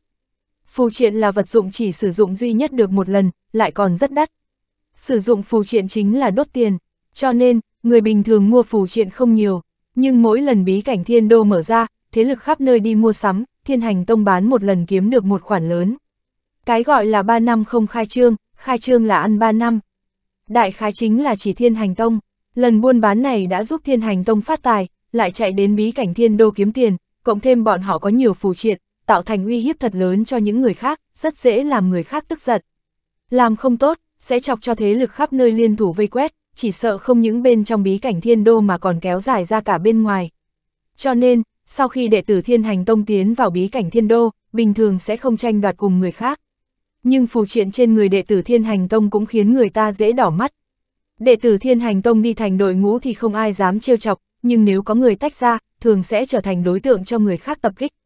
Còn vạn thú môn và linh tông, hai nhà này một nhà bán các loại linh thú, một nhà bán linh đan, đều là môn phái có tiền. Bọn họ cũng giống như thiên hành tông, đến đây chỉ để qua loa, có thể tìm được linh trùng thì tìm, chỉ cần có được bàn giao cho phiêu miểu các là xong, việc chém giết để cướp đoạt sẽ tận lực phòng ngừa. chương 1142, ta đã sớm không phân rõ mình là đen hay trắng hai. Trong mấy môn phái làm ăn tốt, duy chỉ có khí vân tông là tương đối đặc biệt, trong tay nắm giữ thế lực thế tục tương đối lớn. Nhưng nói đi thì cũng nói lại, binh khí không phải là loại tiêu hao, một binh khí có khả năng dùng cả đời. Nếu khí vân tông luyện binh khí dễ bị hư hao, đoán chừng mọi người không cần mua hàng của khí vân tông nữa. Trong số những môn phái buôn bán, khí vân tông là nghèo nhất, ngược lại tìm được đường ra từ phương diện khác. Nếu không bù vào chỗ thiếu hụt này, khí vân tông sợ là khó có thể trở thành khí vân tông như ngày hôm nay. Có không ít người biết rõ nguyên nhân đằng sau. Thiên hành tông, Ngưu Hữu đạo lẩm bẩm, mượn tàng cây che giấu, hắn rất nhanh nhìn thấy trên tán cây có ba bóng người lướt đến tìm kiếm xung quanh. Nhìn phục sức môn phái, chính là đệ tử Thiên Hành Tông. Tùy tiện tìm người nào cũng được, Vân Cơ quay sang hỏi Ngưu Hữu Đạo một câu, có vẻ như đang hỏi ba người này được hay không.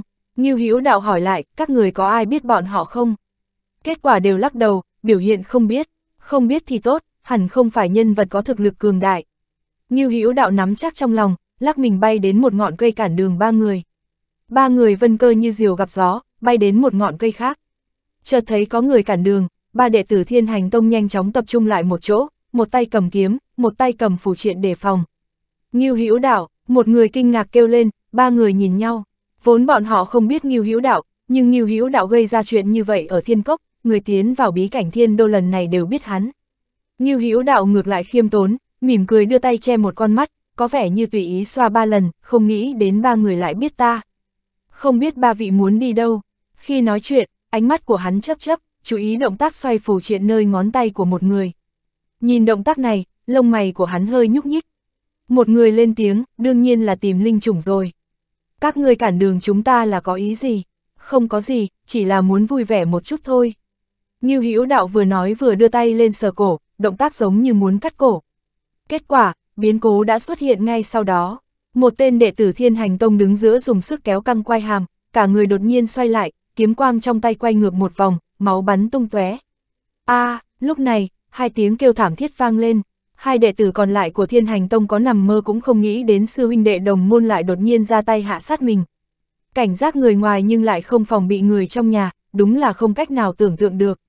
Đừng nói bọn họ, ngay cả vô chiếu hành, mẹ con Vân Cơ cũng chấn động. Chuyện gì xảy ra thế? Gã đệ tử thiên hành tông vừa mới giết người xong liền rơi xuống, xuyên qua tán cây chạy đến chỗ hai người kia ngã xuống. Thân hình như hữu đạo lóe lên, trực tiếp rơi xuống từ tán cây. Ba người vu chiếu hành nhìn nhau, mặc dù không biết chuyện gì xảy ra, nhưng cũng nhảy xuống. Dưới cây, gã đệ tử thiên hành tông rút kiếm tìm được hai cái xác của đồng môn, một lần nữa bổ kiếm xuống, dường như muốn xác nhận hai người này đã chết hẳn thì mới yên tâm. Sau khi xác nhận xong, gã đệ tử thiên hành tông đó mới thở phào nhẹ nhõm, rồi lại dường như không chịu nổi gánh nặng, cơ thể lay động, vội đưa tay đặt lên thân cây bên cạnh, kiếm chống đất, chậm rãi ngẩng đầu nhìn Ngưu Hữu Đạo, ánh mắt tràn ngập sự không chịu nổi, sắc mặt trắng bệch.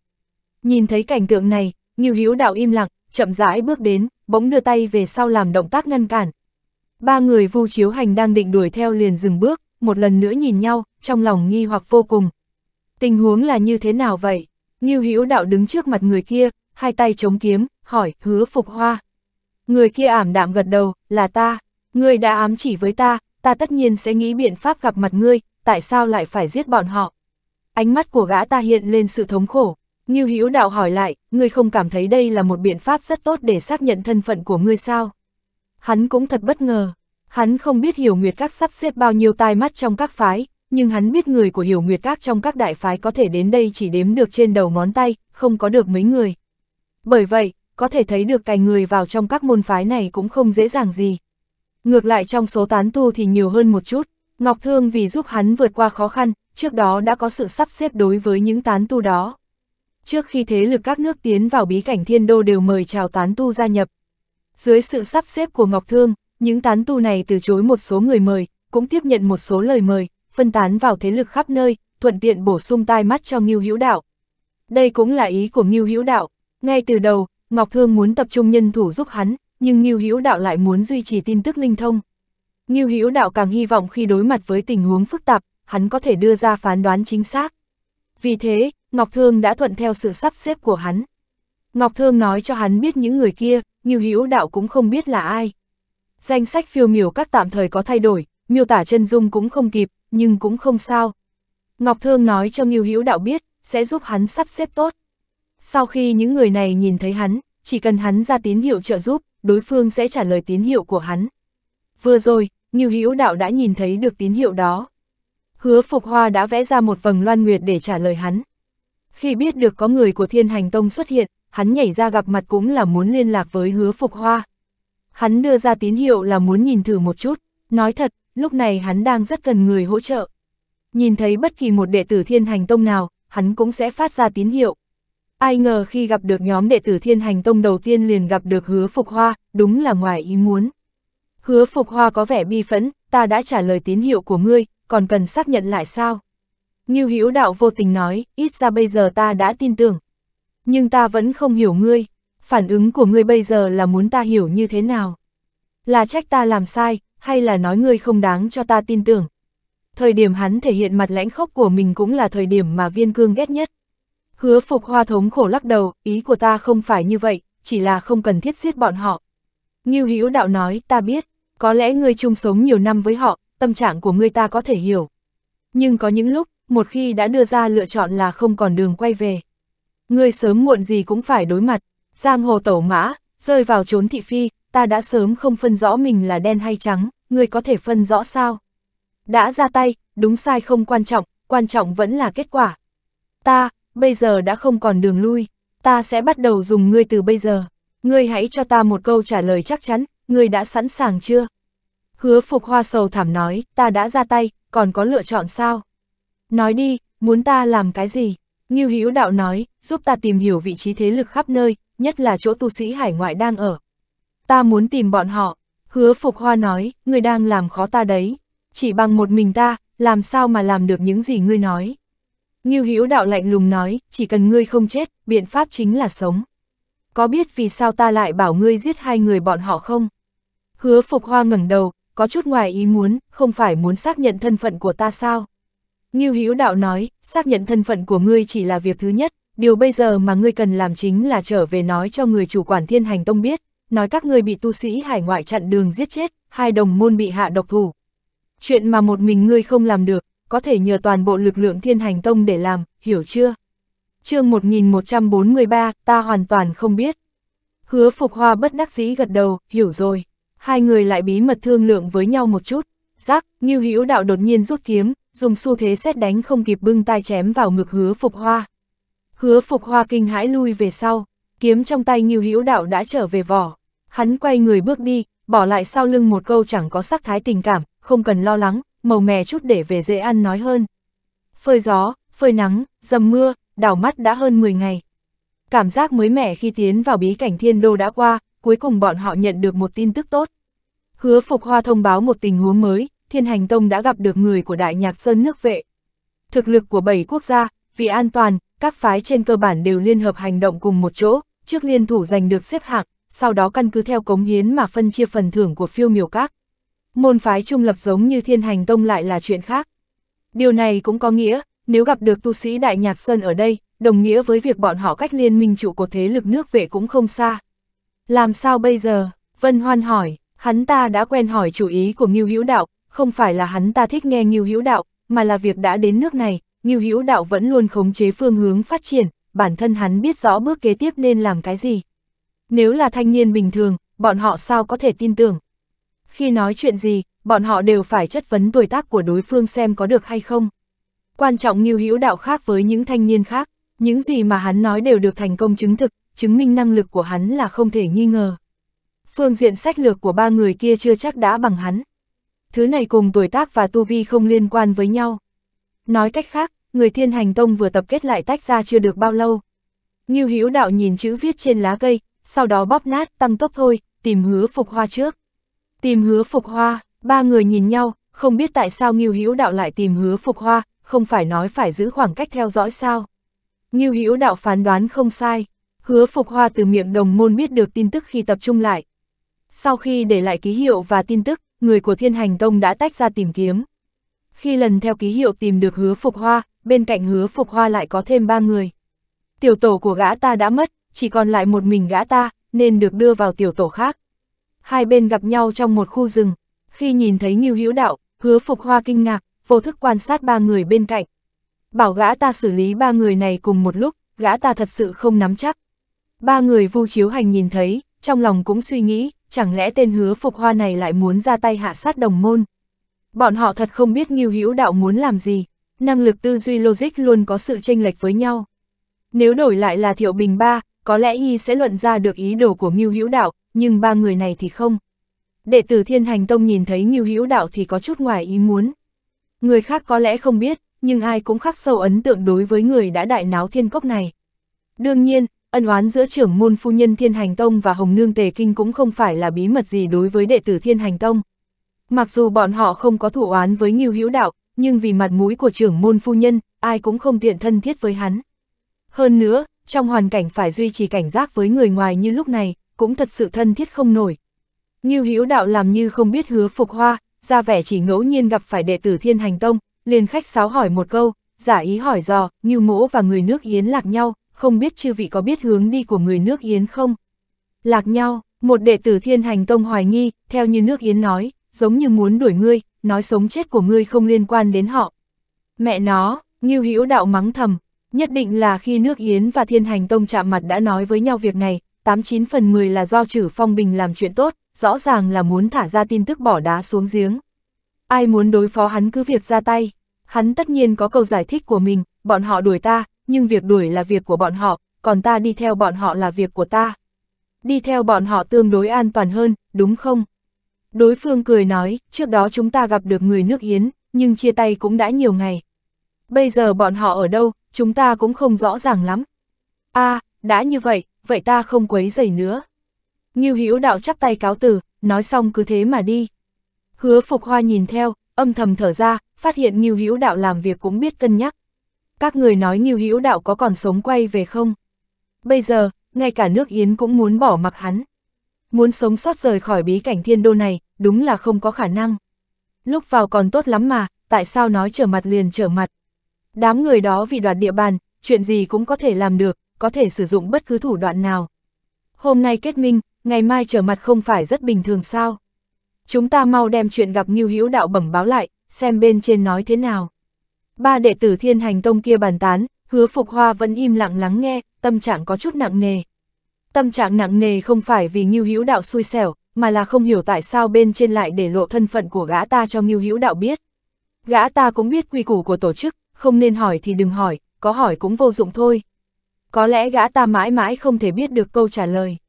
Có rất nhiều chuyện gã ta không hiểu, đối với cao tầng hiểu nguyệt các hoặc đối với Ngọc Thương mà nói, tác dụng của Ngưu Hữu đạo đối với hiểu nguyệt các quá lớn, hy vọng có thể dùng hết tất cả mọi lực lượng để Ngưu Hữu đạo còn sống trở về. Từ lúc Ngọc Thương đem danh sách hiểu nguyệt các tiến vào bí cảnh thiên đô nói cho Ngưu Hữu đạo biết, đã đồng nghĩa với việc tất cả những người này đã bị bại lộ.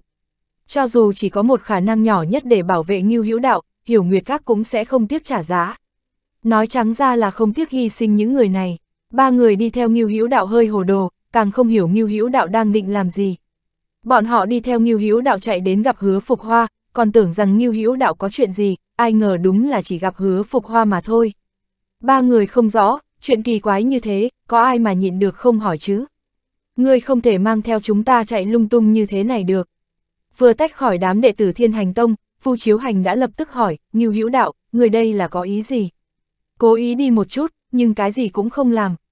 Ngươi rảnh quá sinh nhàm chán thì cũng không cần thiết mang chúng ta trồi lên trượt xuống như vậy chứ. Ngưu Hữu đạo nói cái gì cũng không làm, ta cố ý chạy đến thông báo cho hứa phục hoa, bảo gã ta ngừng hành động, không cần lưu lại ký hiệu và thông tin nữa. Vừa rồi ta đã ra ám hiệu cho gã ta rồi, ba người có chút không tin, Vân Cơ hoài nghi hỏi, người đi một chuyến chỉ vì cái này. Ngưu Hữu đạo nói, không vì cái này thì vì cái nào. Bây giờ đã không cần gã ta lưu lại ám hiệu, tất nhiên phải để gã ta kết thúc hành động. Nếu không, thời gian dài sẽ khó tránh khỏi lộ dấu vết. Vạn nhất bị người ta phát hiện, gã ta sẽ gặp phiền phức. Ba người nhìn nhau im lặng, cố ý đi một chuyến chỉ vì cái này, ai cũng có chút ngoài ý muốn, không nghĩ đến nghiêu hữu đạo lại trượng nghĩa như thế. Nếu đạo nghĩa chiếm thượng phong, ba người ngược lại không tiện chỉ trích nghiêu hữu đạo lôi kéo bọn họ chạy lung tung. Đạo nghĩa hay không đạo nghĩa, thật ra có thể hiểu theo một cách khác. chương 1144, đau khổ cầu xin một. Nghiêu Hữu đạo sốt ruột tìm hứa phục hoa, chỉ là không muốn để gã ta bại lộ. Một khi bại lộ, để thiên hành tông phát hiện hứa phục hoa có vấn đề, khi đó thiên hành tông sẽ hoài nghi những gì mà hứa phục hoa nói trước đó. Chuyện hứa phục hoa giết hai đồng môn có khả năng bị lộ tẩy, mưu đồ bí mật của hắn sẽ xảy ra sự cố. Cho nên, hắn nhất định phải kịp thời kết thúc hành động của hứa phục hoa. Không đi với thiên hành tông nữa, bây giờ chúng ta đi đâu? Vân Hoan lại hỏi, theo hướng hứa phục hoa đã chỉ, tìm tu sĩ nước vệ. Giọng nói của Ngưu Hữu Đạo rất quả quyết, mục tiêu minh xác rõ ràng. Đối với tình thế thúc đẩy, trong lòng hắn đã có quyết đoán. Một khắc trừ phong bình tìm đến hắn lần đầu tiên, hắn đã bắt đầu. Hắn đã biết mình sẽ đối mặt với khốn cảnh nào, hắn sẽ không ngồi đó chờ chết, nhất định phải tùy cơ ứng biến.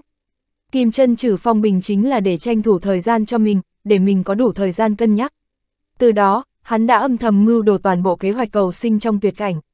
Mặc kệ con đường phía trước khiến người ta tuyệt vọng như thế nào, hắn cũng sẽ không từ bỏ. Hắn sẽ từ trong tuyệt cảnh mà mở ra một sinh lộ mới.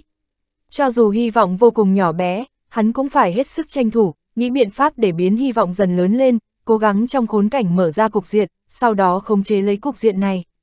Về phần hậu sự, hắn cũng đã sắp xếp xong xuôi, đã có được sự chuẩn bị khi không thể còn sống trở về. Bây giờ đã không còn nỗi lo về sau, chỉ cần tập trung tinh lực làm tốt chuyện trước mắt. Điều hiện tại cần làm chính là nghĩ hết biện pháp thực hiện kế hoạch của mình, không để cho kế hoạch của mình bị trạch hướng, nhất định phải đạt được mục tiêu cuối cùng. Đám người vu chiếu hành đi theo hắn chạy tới chạy lui, trong lòng nghi ngờ vô cùng. Mặc dù trước đó Ngưu Hữu Đạo có nói muốn hợp tác với tu sĩ hải ngoại, nhưng trước mắt xem ra, hình như không có chuyện như vậy. Ba người thật sự không biết Ngưu Hữu Đạo muốn làm gì, nhưng lại hỏi không ra. Nhưng ba người cũng nhìn ra được, Ngưu Hữu Đạo làm việc, nhìn thì như không đàng hoàng, nhưng mục đích lại rất rõ ràng. Điều này nói rõ hắn không có làm loạn, mạch suy nghĩ vô cùng rõ ràng, hướng về phía trước để giải quyết vấn đề. Hứa Phục Hoa chỉ dẫn phương hướng không sai. Sau một ngày, bọn họ đã gặp được tu sĩ nước vệ. Nhưng không phải là đệ tử của Đại Nhạc Sơn, mà là đệ tử của thủ chính các. Thấy Ngưu Hiếu Đạo, đối phương bất ngờ vô cùng, ánh mắt nhìn hắn như nhìn người chết, hiển nhiên đều biết Ngưu Hiếu Đạo đã bị Toa Như Lai đẩy vào tuyệt cảnh như thế nào. Toa Như Lai đại diện cho tiếng nói của phiêu miểu các, rất có quyền uy, sẽ không nói mà không giữ lời, cũng không dơ cao đánh khẽ. Cho nên, ai cũng cảm thấy Ngưu Hữu Đạo sống không nổi nữa. Tu sĩ cả một nước còn không dám hứa có thể lấy được vị trí thứ nhất, Ngưu Hữu Đạo sao có thể nắm chắc. Hắn không phải người sắp chết thì là cái gì? Cho dù là vậy, bọn họ vẫn duy trì cảnh giác đối với Ngưu Hữu Đạo, phòng bị hắn vì đoạt được vị trí thứ nhất mà không từ thủ đoạn, chó cùng rứt dậu. Huống chi bên cạnh Ngưu Hữu Đạo còn có cao thủ Vu Chiếu Hành, làm cho bọn họ cảm thấy áp lực rất lớn. Ngưu Hữu Đạo cũng rất khách sáo, chắp tay nói, xin hỏi, Diêu trưởng lão Diêu Tiên Định của thủ chính các đang ở đâu? Diêu Tiên Định chính là trưởng lão chủ sự của thủ chính các tiến vào bí cảnh thiên đô lần này. Một người mặt mũi tràn đầy cảnh giác đáp, không biết. như Hữu Đạo buông tay, bằng hữu, nói như vậy là không đúng rồi. Thủ chính các các người người đông thế mạnh, cao thủ bên người Diêu trưởng lão nhiều như mây, chỉ dựa vào mấy người chúng ta sao có thể gây bất lợi cho ông ta được. Ta nói thật, quan hệ giữa ta và Diêu trưởng lão không tệ. Thượng Thanh Tông có thể được nữ tướng nước vệ huyền vi tiếp nhận vẫn là nhờ Diêu trưởng lão âm thầm hỗ trợ dắt mối. Vừa lúc gặp phải các người, về tình về lý ta cũng phải chào hỏi Diêu trưởng lão một tiếng. Các người có thể giúp Diêu trưởng lão làm chủ một chút chứ? Nghe hắn nói, những người này có chút do dự, cân nhắc sẽ không có chuyện gì xảy ra, cuối cùng vẫn chỉ cho Ngưu Hữu Đạo một con đường. Ngưu Hữu Đạo chắp tay cảm ơn, sau đó dẫn ba người Vu Chiếu Hành đi theo hướng đối phương đã chỉ. Trên đường, Vân Cơ hỏi, ngươi và Diêu Tiên Định có giao tình sâu như vậy sao? Ngưu Hữu Đạo nói, không có, ta hoàn toàn không biết Diêu Tiên Định. Không biết, ba người Vu Chiếu Hành chẳng còn gì để nói. Không biết mà ngươi nói như thật, vừa rồi ngay cả bọn họ mà còn tin, còn tưởng rằng Thượng Thanh Tông có thể được nữ tướng huyền vi nước về tiếp nhận là do Diêu Tiên Định giúp một tay, hóa ra là tên này đang nói dóc. Cho dù có nói dóc cũng muốn gặp Diêu Tiên Định, Vu Chiếu Hành không nhịn được hoài nghi hỏi, hẳn Diêu Tiên Định cũng là người của ngươi. Mẹ con Vân Cơ không khỏi nhìn Vu Chiếu Hành, Ngưu Hữu Đạo đã nói không biết Diêu Tiên Định, người này còn hỏi như thế. Xem ra trí thông minh của vị cao thủ xếp hàng thứ 6 đan bảng này cũng chẳng có gì đặc biệt. Thật ra, bọn họ nghĩ như vậy là oan cho Vu Chiếu Hành. Bởi vì trước đó Vu Chiếu Hành cũng không biết Ngưu Hữu Đạo. Ông ta là suy ra từ mình sang Diêu Tiên Định, nếu ngay cả trưởng lão chủ quản của thủ chính các cũng là người của Ngưu Hữu Đạo, người đó có thể giúp được một đại ân. Ngưu Hữu Đạo đi bên cạnh mỉm cười trả lời, không phải. Nghe xong, hai mẹ con Vân Cơ nhìn Vu Chiếu Hành bằng ánh mắt quả là thế. Vu Chiếu Hành hỏi tiếp, vậy tại sao ngươi nhất định phải gặp ông ta? Ngưu Hữu Đạo đáp, gặp ông ta không phải là mục đích chính, mục đích là thông qua chuyện gặp ông ta để tìm người của ta. Vừa rồi bọn họ cho ta địa điểm, có thể là nơi tập kết của thế lực nước vệ. Tìm Diêu Tiên Định tất có thể tìm được người của ta. Hắn vừa nói xong, mọi người đều bừng tỉnh. Phương thức các thế lực các quốc gia tìm kiếm linh trùng trong bí cảnh thiên đô là phân tán tìm kiếm. Do phạm vi quá lớn, trung tâm lĩnh đội nước vệ sẽ không cố định tại một chỗ, để tu sĩ tìm kiếm phải chạy tới chạy lui sẽ lãng phí thời gian, nhất định phải đi theo một hướng đại khái.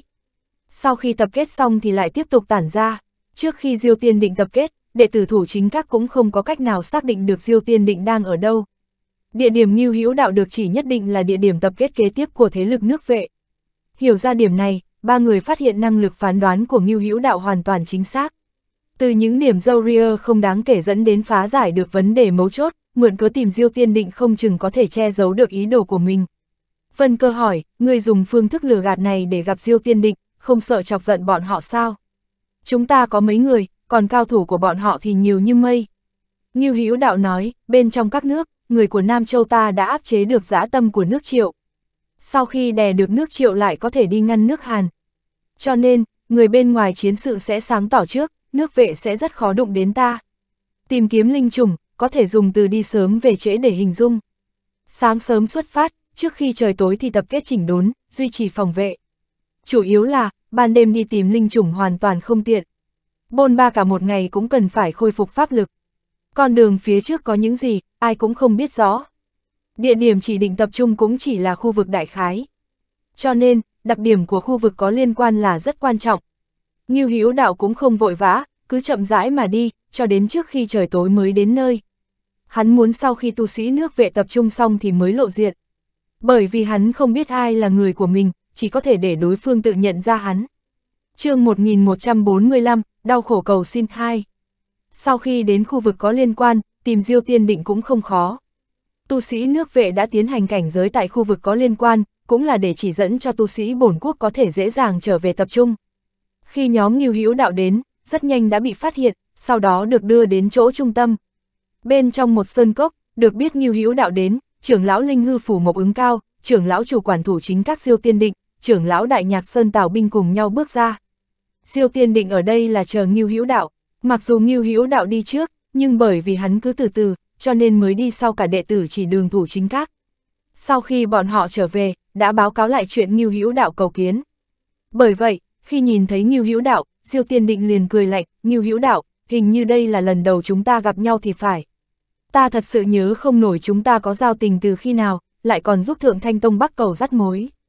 Trong sơn cốc, một đám người đều quan sát Ngưu Hữu Đạo, biểu hiện người nào người nấy khác nhau. Có hiếu kỳ, có xem thường, có thương hại, Ngưu Hữu Đạo vẫn không hề hoang mang, thật là ngại quá, là tại hạ nói bừa. Ta ngẫu nhiên gặp được đệ tử thủ chính các, khi nhờ chỉ đường bái kiến, đệ tử quý phái hơi khinh thường ta. Tại hạ bất đắc dĩ đành phải nói dối. Nói dối là có lỗi, nhưng tại hạ thành khẩn cầu kiến. Diêu tiên định nói, thành khẩn, người gặp ta để làm gì? Ngưu Hữu Đạo nói, ta cầu kiến Diêu trưởng lão là vì vừa lúc gặp được đệ tử thủ chính các nên thừa cơ tìm lý do thôi. Không chỉ là cầu kiến Diêu trưởng lão, mà còn có Mộc trưởng lão và Tào trưởng lão. Thật không dám giấu, ba đại phái nước Yến vì tranh giành quyền khống chế Nam Châu nên đã trở mặt với tại hạ. Tại hạ bị thế lực nước Yến đuổi đi, bây giờ ta có thể nói là cùng đường mặt lộ, cho nên muốn gia nhập trận doanh của nước vệ, cầu lực lượng nước vệ che chở. Ba người Mộc, Diêu, Tào nhìn nhau, biết nghiêu Hữu đạo nói không sai. Bây giờ, lực ảnh hưởng của Nam Châu đối với nước Yến quá lớn. Ba đại phái nước Yến tranh đoạt quyền khống chế là điều tất nhiên. Thừa cơ bức bách Ngưu Hữu đạo ở đây là có thể hiểu được. Nếu đổi lại là bọn họ, sợ là bọn họ cũng sẽ làm như vậy. Nếu nghiêu Hữu đạo đầu nhập vào một phái thì không được thích hợp, sẽ đắc tội với hai nhà khác. Vì thế hắn bị trục xuất cũng là điều có thể nghĩ đến. Không cần nói thêm điều gì, mọi việc đã sáng tỏ, ba người nhìn nhau, đã có quyết định. Không truy cứu chuyện nghiêu Hữu đạo nói dối nữa, Diêu Tiên định nói, đây là chuyện nội bộ nước Yến, chúng ta nhúng tay vào không thích hợp. Ngươi nên nghĩ biện pháp khác đi. Như Hữu đạo nói, nếu ta chết, ba đại phái tranh đoạt Nam Châu, rất có thể ảnh hưởng đến chiến sự nước Triệu.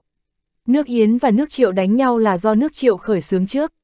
Mọi người cũng biết giá tâm của nước Triệu rồi. Chẳng lẽ nước về nguyện ý để nước Triệu phát triển an toàn? Một khi nước Triệu phát triển an toàn, đông có nước Triệu, tây có hổ lang nước Tấn, nước vệ hai mặt thụ địch, chư vị có thể làm như không thấy. Mộc ứng cao nói, ngươi cho rằng ngươi còn có thể sống sót rời khỏi bí cảnh thiên đô sao. Làm càn ở thiên cốc, tự gây nhiệt thì không thể sống, ai cũng không thể giúp được ngươi. Ngưu Hữu đạo nói, nhưng ta lại không cam chịu, sâu kiến còn ham sống mà, nếu không, làm sao có thể nghĩ hết cách đến trước mặt chư vị đau khổ cầu xin chứ. Trưởng lão Đại Nhạc Sơn Tào Binh nói, người cầu chúng ta cũng vô dụng thôi. Chúng ta cũng không cần thiết vòng vo, biết rõ không giúp ngươi, ngươi cũng chỉ có con đường chết. Mà giúp ngươi, ngươi cũng chết, nhiều người muốn đưa ngươi vào chỗ chết như thế, chúng ta cũng không cần thiết phải tự tìm phiền phức. Diêu Thiên Định nói, như Hữu đạo, chuyện ngươi lừa gạt, ta bỏ qua không truy cứu. Nơi này không giúp được ngươi, ngươi vẫn nên tự tìm con đường cho mình. Mặc dù đám người vân cơ không biết Ngưu Hữu Đạo chạy đến đây là để làm gì, nhưng nhìn thấy Ngưu Hữu Đạo hạ thấp mình ba bốn lần cầu xin người khác, tất cả đều thổn thức không thôi, có thể cảm nhận được tình cảnh gian nan của Ngưu Hữu Đạo. Hắn đang đau khổ cầu sinh trong khốn cảnh, liên tục cầu xin mà vô dụng, như Hữu Đạo nhìn sắc trời, ta hiểu thái độ của chư vị. Nếu là như thế, ta cũng không miễn cưỡng, chỉ là trời đã tối, bên ngoài sợ có truy sát. Ta muốn nương nhờ một đêm, trời vừa sáng là ta đi ngay, sẽ nghĩ biện pháp khác, như thế nào. Yêu cầu này cũng không tính là gì, mọi người đồng ý, bảo người dẫn bọn họ đi, đưa mắt nhìn như Hữu Đạo rời đi, Diêu Tiên định cười lắc đầu, ở bên ngoài cũng được xem là nhân vật phong vân, không ngờ lại rơi xuống vùng bùn như thế. Tào Binh nói, hắn gây thù quá nhiều, cuối cùng cũng là tuổi trẻ nông nổi. Mộc ứng cao nói, tự làm tự chịu, trời tối, ngoại trừ một số người núp trong bóng tối canh phòng, những người còn lại đã nhóm lửa, xua tan mấy con sâu kiến quấy rối. Ngưu Hữu đạo biểu hiện muốn đốt một đống lửa. Vân cơ lập tức ra hiệu Vân Hoan đến khu rừng gần đó thu thập củi khô, ai ngờ Ngưu Hữu Đạo ngăn lại, các người khoan đã, mấy chuyện vặt này nên để ta làm. Vân Hoan cười khổ, cái gì là việc vặt để ngươi làm, đoạn đường này rõ ràng là toàn ta làm không đấy. Hắn ta thấp giọng nói, đừng nói dễ nghe như vậy, ngươi muốn nhân cơ hội gặp người của ngươi thì có. Không chỉ như thế, Ngưu Hiếu Đạo đang ngồi xếp bằng dưới đất quan sát bốn phía, sau đó đứng dậy đến bên cạnh Vân Hoan, nói nhỏ, trong mắt bọn họ, tu vi của ta rất yếu, các người mới là cao thủ. Các người lưu lại nơi này gần bọn họ, có thể giảm bớt sự phòng bị của bọn họ, dễ dàng cho ta làm việc. Ba người trao đổi ánh mắt, đúng vậy, bọn họ nhìn ra được, những hành động không bình thường của người này trên đường đều che giấu huyền cơ, rất có hương vị gặp núi mở đường, gặp nước bắc cầu, gặp chuyện gì cũng có biện pháp ứng đối. Nhìn hắn rời đi, Vu Chiếu Hành thầm nói một câu, cái tên này có thể sống đến bây giờ không phải là không có nguyên nhân. Hai mẹ con Vân Cơ gật đầu, biểu hiện đồng ý. Bên trong khu rừng bên cạnh đang có tu sĩ nước vệ thu thập củi khô, như hữu đạo cũng xả vào làm chuyện giống vậy. Tôn tính đại danh, Hà Tâm Nho, ngày mai, sau khi xuất phát, người hãy giúp ta làm chút chuyện, xử lý hết toàn bộ người đồng hành với ngươi. Cái này, vì sao, không cần biết vì sao, bây giờ cũng không có thời gian nói nhảm với ngươi, làm được không? Không phải là ta không làm, mà là ta hoàn toàn làm không được. Khi phân tán tìm kiếm, 5 người chia thành một tổ. Thực lực của ta không cách nào xử lý được 4 người. Một khi ra tay, tất nhiên sẽ bại lộ. Vậy thôi, người cứ lưu lại ký hiệu liên lạc chỉ dẫn ta đến tìm ngươi. Khi đến, ta sẽ giúp ngươi một tay. Đây là cuộc trò chuyện giữa Ngưu Hữu Đạo đến Nhật Củi Khô gặp người của Hiểu Nguyệt Các cũng đến Nhật Củi Khô. Đến gặp mặt không chỉ có một mình Hà Tâm Nho, mà còn một người nữa. Hiểu Nguyệt Các cài hai người vào nước vệ, Ngưu Hữu Đạo đều biết. Hắn biết mình vừa đến, tất sẽ gây sự chú ý cho tai mắt của Hiểu Nguyệt Các, cũng biết mình vừa phát ra tín hiệu gặp mặt, chỉ cần hắn sáng tạo ra điều kiện gặp mặt, đối phương sẽ nghĩ cách đến gặp hắn. Một trong hai người là tán tu, Ngưu Hữu Đạo muốn gặp không phải là vị tán tu này. Hắn càng vừa ý với người trong môn phái là Hà Tâm Nho hơn, bởi vì lực ảnh hưởng của tán tu không lớn bằng người trong môn phái. Khi đưa ra tín hiệu, hắn cũng không biết mình sẽ gặp được ai. Hai người nhìn thấy tín hiệu, tất nhiên sẽ tìm tới. Ngưu Hữu Đạo sẽ đến làm quen một chút, còn chấp hành cụ thể vẫn giao cho Hà Tâm Nho. Sự việc đã làm thỏa đáng, Ngưu Hữu Đạo khiêng một đống củi khô đủ để đốt một đêm về, ném xuống bên cạnh mọi người. Đốt lửa xong, Vân Cơ hỏi, có liên lạc chưa? Ngưu Hữu Đạo đáp, đã xong. Về sau, bọn họ nhận được một miếng thịt từ nước vệ đưa sang, liền gác lên đống lửa. Ăn xong, mọi người lại vây quanh đống lửa, khoanh chân tĩnh tọa, một đêm vô sự cứ như vậy mà trôi qua chương 1146, chính là muốn ngươi có cái bản giao khi trở về. Hôm sau, người nước vệ một lần nữa bố trí, chuẩn bị triển khai nhiệm vụ tìm kiếm của một ngày mới. Đám người Ngưu Hữu Đạo vẫn lề mề, rõ ràng không muốn rời khỏi sự che chở của nước vệ. Ngưu Hữu Đạo, sư tôn bảo ta đến nhắc nhở ngươi một tiếng, không cần đi theo chúng ta. Đi theo chúng ta cũng vô dụng thôi, chọc giận chúng ta, một khi gặp phải cừu gia của ngươi, nếu người bên dưới không quản được miệng, tiết lộ hành tung của ngươi, ngươi cũng đừng oán chúng ta. Đây vừa là lời cảnh cáo, vừa là lời uy hiếp. Siêu tiên định đã bảo thuộc hạ đến khuyên Ngưu Hữu Đạo một câu. Cảnh cáo như vậy cũng không tính là quá phận, có thể kiên nhẫn nói chuyện nhẹ nhàng với Ngưu Hữu Đạo như vậy là được lắm rồi. Đương nhiên, điều này cũng có liên quan đến lực chấn nhiếp của Ngưu Hữu Đạo. Hắn đại khai sát giới ở thiên cốc, thiên kiếm phù trong tay cũng chẳng phải thứ dễ chơi. Cộng thêm có vu chiếu hành bên cạnh hắn, nếu ăn nói quá đáng dẫn đến đánh nhau, nước vệ cũng phải trả giá khá nhiều. Đây cũng chính là tiền đề khiến cho nước vệ ăn nói dễ chịu. Tóm lại, ba đại phái nước vệ không muốn vì một nghiêu hữu đạo mà rước lấy sự chú ý của quá nhiều thế lực. Một khi có biến sẽ rất phiền phức, không hy vọng nghiêu hữu đạo đi theo bọn họ. Nghiêu hữu đạo đưa mắt nhìn theo tu sĩ nước vệ rời đi, biểu hiện trong mong, vì thế mà nhận lấy sự chế giễu không ít của tu sĩ nước vệ. Đám người vu chiếu hành từ phản ứng của những người này biết được, bọn họ đang khinh thường Ngưu Hữu Đạo, nhìn Ngưu Hữu Đạo giống như nhìn một con chó vẫy đuôi mừng chủ. Vân Cơ hỏi, ở Nam Châu hồ Phong Hoán Vũ đã quen, tiến vào nơi này, tranh lệch lớn như vậy, trong lòng chắc không dễ chịu đúng không? Ngưu Hữu Đạo bình tĩnh nói, cô cảm thấy ta sẽ quan tâm chuyện này sao? Vân Cơ hỏi, thật không quan tâm chút nào. Ngưu Hữu Đạo mỉm cười, yến tước an chi hồng hộc chi trí. Loài chim én chim sẻ sao biết được trí chim hồng, chim hộc. Sở dĩ nhìn như vậy khiến người ta chế giễu chính là vì xác định hướng đi của Hà Tâm Nho, tiết kiệm phiền phức cho sau này. Chờ người nước vệ đi hết, Ngưu Hữu Đạo tạm thời cũng không có ý định đi theo. Hắn cùng ba người bước vào sơn cốc trụ cột ba đại phái nước vệ đã nghỉ đêm qua. Ngưu Hữu Đạo cẩn thận tra xét dấu vết lưu lại trong sơn cốc một lần, hy vọng có thể tìm ra manh mối có giá trị lợi dụng. Cuối cùng cũng không tìm ra được manh mối hữu dụng, nhưng không sao, Ngưu Hữu Đạo vốn đang định chờ.